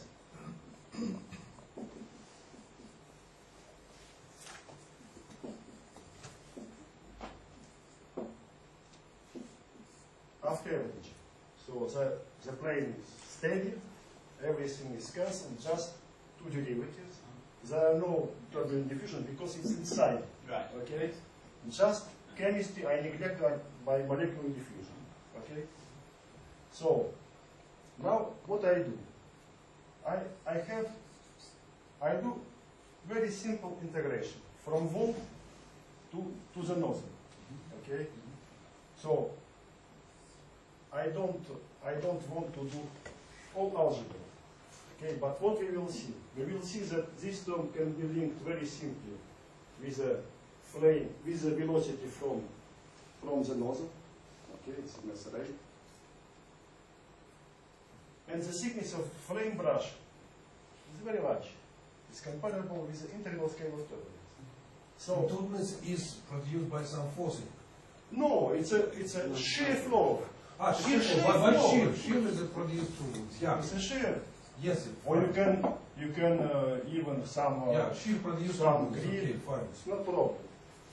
But because the answer is not dependent on the what, what, what, uh, how turbulence is produced. It can, you can put even in the, in the, because if the Reynolds number is very small, the turbulence can be very, very, very. uh, Yeah, yeah. You speak Not- not on the case uh, of small Reynolds number. No, I speak general case. There are no. General. Okay? And now I have, I have this, this term. Okay? And it, it is not, it is not equal zero. And to calculate this term, we have to know information about velocity, and the concentration inside of flame brush. Okay? So even I know the flame ve- velocity flame propagation, I come to calculate the consumption velocity. Because I don't know this information. I don't know. I have to measure a lot of things inside of flame brush. This, uh, this quantity is the is the concentration flux. Uh, Yes, it's a concentration flux in, in this direction. Yes. Okay? I have, I have to measure all these, all, all these fields. Yeah. And it's not too easy to do. Okay? It's not easy to do. So what, what we do usually experimentally? We accept some hypothesis about the flow field. You calculate this integral, integral, and you can tell, for example, we have the difference 30 percent in comparison with the main integral. Okay? Which, which we speak about. Okay? This is a big problem. If we return to the case of, in the general case as we presented, we have very often the situation which is similar to this case. Okay? Even we do LES, we will have the sickness which is comparable with, uh, I don't know, a few cells. And how to calculate inside, nobody knows. So we, we can tell direct, we neglect by that. But we will have the order of error, which is comparable with the order of calculation. This is the main, the main challenge. And we have to look at this problem with open eyes. Not, not to, to put on the table and, and tell that everything is okay. No, it's not okay. Are really problems. There are really problems. Why? To overcome this problem, we use G equations. Because the, in this case, it, seems it's not, it's, a, it's not the truth. That means we bypass this problem. But the problem exists. but we should separate two situations. One situation for combustion is you have turbulence produced by some forcing or shear, then you have a propagation of uh, flame front, and there is a back reaction of this flame, so there is a generation of secondary turbulence, and uh, this is complicated process. This For one situation. For simplicity, if Reynolds number is extremely large, Yeah. It's a usual situation. Yes. We can neglect but usually, we can neglect by the turbulence produced by the flame. So Aha. don't, don't, it's not needed to, you know, to put uh, Okay. all. So situation Okay? is. The problem exists all time. Yes. Okay? So the main problem, how to discriminate between, I repeat again, between propagation velocity and consumption velocity. Very often it's, it's mixed. It's not like, as uh, Nathan uh, tells that it's a, we take the sum and divide No, it course, by it's- two, for it's a example. joke, but it's different. It's a joke, of course, I understand. I think it's, it's a good time. For calculation, we do even simpler. We take just one velocity. It's even simpler. Okay? So But the I think, I think the point is come across. I think. So this is a this is a real problem. Maybe- I know it's getting time for lunch soon, but uh, let me just make a suggestion. I mean, we've spent a lot of time on a very narrow subject here. Diffusion, counter gradient diffusion. It seems like we've, we've spent enough time on that. Uh, There are some other interesting issues. For example, you bring up the reaction rate, W bar, Yeah. omega bar. Um, You know, you can model that with a um, G equation, You can, yeah. or with a, with a flame surface density approach, and there's some people here in the audience, you know, who, who know all about that. I hope sometime we talk about Mhm. Those kinds of things, that, you know, like, I mean, uh, Yeah, to have, to have. which, I mean, the G equation is, seems very attractive, but it, it has some assumptions that we have to be aware of, right? And the flame surface density approach seems very attractive, and maybe there are others that, you know, the- this, this method, um, a third method, uh, so maybe we should, uh, Sure, we should. not just yeah, we should get hung up on counter gradient diffusion, but move on to, uh, these, uh, you know, what everybody feels about the, wh- you know, where are we going with all this? Uh, So Jim is suggesting to have another Yeah. session. Yeah, so maybe, But maybe. you are already addressing, starting to address it here, right? Is that, uh, So this is one of the approach we followed. This is Yeah. this came from the BML approach. Bray wrote this. Ken Bray wrote that in 1978. Very simple uh, in a in a corrugated flame uh, flames. Although he wrote that for corrugated flame uh, regime, there is uh, enough evidence in the literature that it can be extended further into the lower part of the thin reaction zones to G. What is the epsilon C? This is the dissipation rate, square of the scalar gradient magnitude Dissipation rate for what? for scalar C. Ah, scalar C, I see. Mhm. So if you can derive a model for that, then you have a model for the mean reaction rate. There's one way of looking at that. There are other approaches you correctly mm-hmm. pointed out. So if you have a model for scalar dissipation rate, then we can use the KPP analysis, mm-hmm. quote unquote. Mhm. That's not the Bible, so with all the conditions put into that, then we can derive the flame speed expression in this simple form, which you can rewrite in this form where we have A plus B, which are these mm-hmm. constants of left together in a simplistic form. And then A has the Damköhler number. This Damköhler number is not the global Damköhler number, this is the Damköhler number in the at the local point. So local free dynamic time scale divided by the chemical time scale. And this dissipation rate is like a C squared divided by the turbulence time? In a According In to a loose our- sense. Hmm? In a loose sense, yes. In a very loose sense.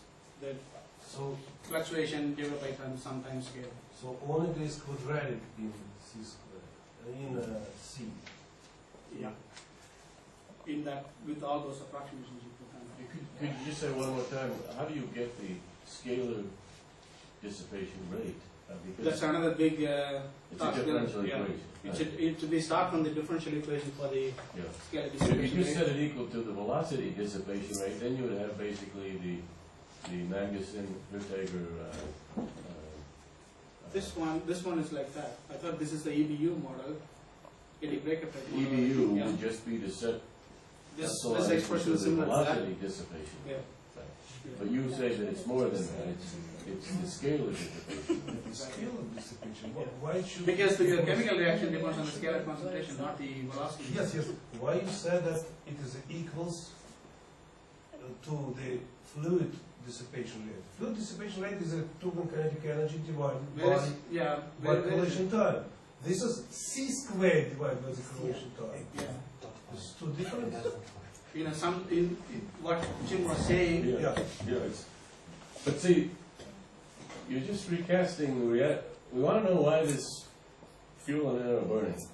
And you're saying that it's burning faster where there are more flames. That's, that's basically what that first equation says. Because the scalar dissipation rate in a pre-mixed flame is not a mixing rate, it's si- simply the probability of having flames, right? I mean, C is, goes from zero to one across a flame. it's the, uh, it's the, dis- The only it's thing the is C rate. No, the let's, flame. let's put it this way, Jim. It's the rate at which your fluctuation in the C field is going to disappear. Right, and you can only have that if, uh, if you have a flamelet, C goes from zero to one. You can have C fluctuation only near the flame, I agree. Only You near can the only have C fluctuating due to flame. So, so the key to this whole approach is, can you get the scalar dissipation, which in my mind is the same as the flame surface density. Exactly. It's the Yeah, I flame surface. Yeah. And so the question is, you know, do you have a better way than Poinsot, uh, Candel, uh, and other, uh, you know, many, many people? In, in some sense, these two approaches are equivalent to one another. Yeah. The, the flame surface density approach is, in my view, has come from the kinematic imbalance. Yeah. One can argue whether it's a dynamic equation or kinematic equation. Right. But the scalar dissipation equation is a dynamic equation. Yeah. So I'm not saying that this is a better approach than that. This is another approach Yeah. of looking, looking at that mm-hmm. problem. But concerning this question, in fact, when you are absolutely right, Yeah. because if you consider the asymptotic behavior of this scalar, dissi- scalar dissipation, because it's, it's the same, in fact, very far, you can't link with the chemistry, because it's determined by the turbulence, turbulence, okay? Mhm. Do, do, do you see what we want to say? Uh, tell? No, in premix flames, you have to have No, chemical even- reactions, even otherwise you premix can't have dissipation. No, no, what, what I want to say. When we have some flame, usually we use uh, this kind of relation between probability density and the structure of the flamelet without taking into account that very far from the flamelet we have the turbulence. Like s- where practically there are no influence over chemistry. So the asymptotical behavior over this wave, it's very difficult to measure and to have some theory, okay? So for me, we have a very complicated structure of this, of this PDF, this Yeah. PDF. So if you have a flame, Yes, okay, what you're talking about is up here and up here. Yes, That don't- has to be zero. For- example, here where we have gases, this is clear because it's not very important for us because in fact what is important is it's a leading point. And when we use some kind of KPP theory, for me it's not really phys- physical approach because very far we can't use the PDF is linked with the structure of the flame because this behavior is determined, determined in the infinity by the turbulence uh, self without, without combustion practically. So we have a some some maybe two-step mixing process. Mm. First it's a Yeah. turbulence, turbulence, simple turbulence. Yeah. Okay. But how turbulence is different here and inside It's, this it's, it's not turbulence because, in fact, what is important for us is the it's a gradient over Gradient C, yes. gradient of C. Okay, How it's affect the turbulence? it's very far it's not affected. Okay, but But it's the flame may be affected, but I don't discuss at the moment that. There- There are different things. Okay, there are turbulence and this gradient. Yes. Uh, Of course, turbulence influences this gradient, but what we speak about just this gradient. Okay. and, pro- and Okay. if turbulence affect this, What I want to produce tell. fluctuations. Yes, but it's not important. Because what is important that in the flamelet, this gradient Yeah. is formed by chemistry. Okay? Right. And so on. But very far from flame flamelet, this gradient is not formed by chemistry. It's formed by turbulence. It's a zero in premix. Ah, no. In But, premix flames. but in KPP theory, you take this limit. Okay. That's, that's here. Um, it's here, it's not here. It's Uh, at infinity. Okay? It's a leading point. Sure. And to obtain U prime, we have to go very far to have extremely rare events when the velocity is very large. So for me, it's not here. It's very far. Yeah, but. Vladimir, uh, since, but in order to calculate flux of C, it doesn't matter how gradient of C mean C is I created. don't speak about either. Again, again, because everything is important. What is important for us is this gradient. Because this gradient describes the mixing. Yes, of course, of course. And in the plane, in the plane, it's formed by, it's created by So, chemistry. That's why, And that's why, it's not chemistry. that's exactly for that reason only, the parameters in appear, appearing here. I'm not defining KPP, I'm just trying to say what I'm, what Yeah, I'm doing, okay? yeah. So to, in order to answer your query, the parameters which appear here are not up here, they are local. But it's not correct. It- It's my opinion.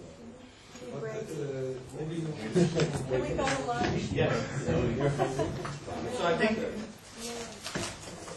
would you like to comment, any final comment? What's the schedule of tomorrow? Tomorrow, and. So many thanks for all the comments. So let's close it for lunch. Yeah. And how is it Thanks going? to Samir. And so for, and for dinner, uh, we accumulate some, uh, Tomorrow time, you'll so be that it speaking takes about in the sessions. afternoon. I have hungry. From, I don't know. afternoon?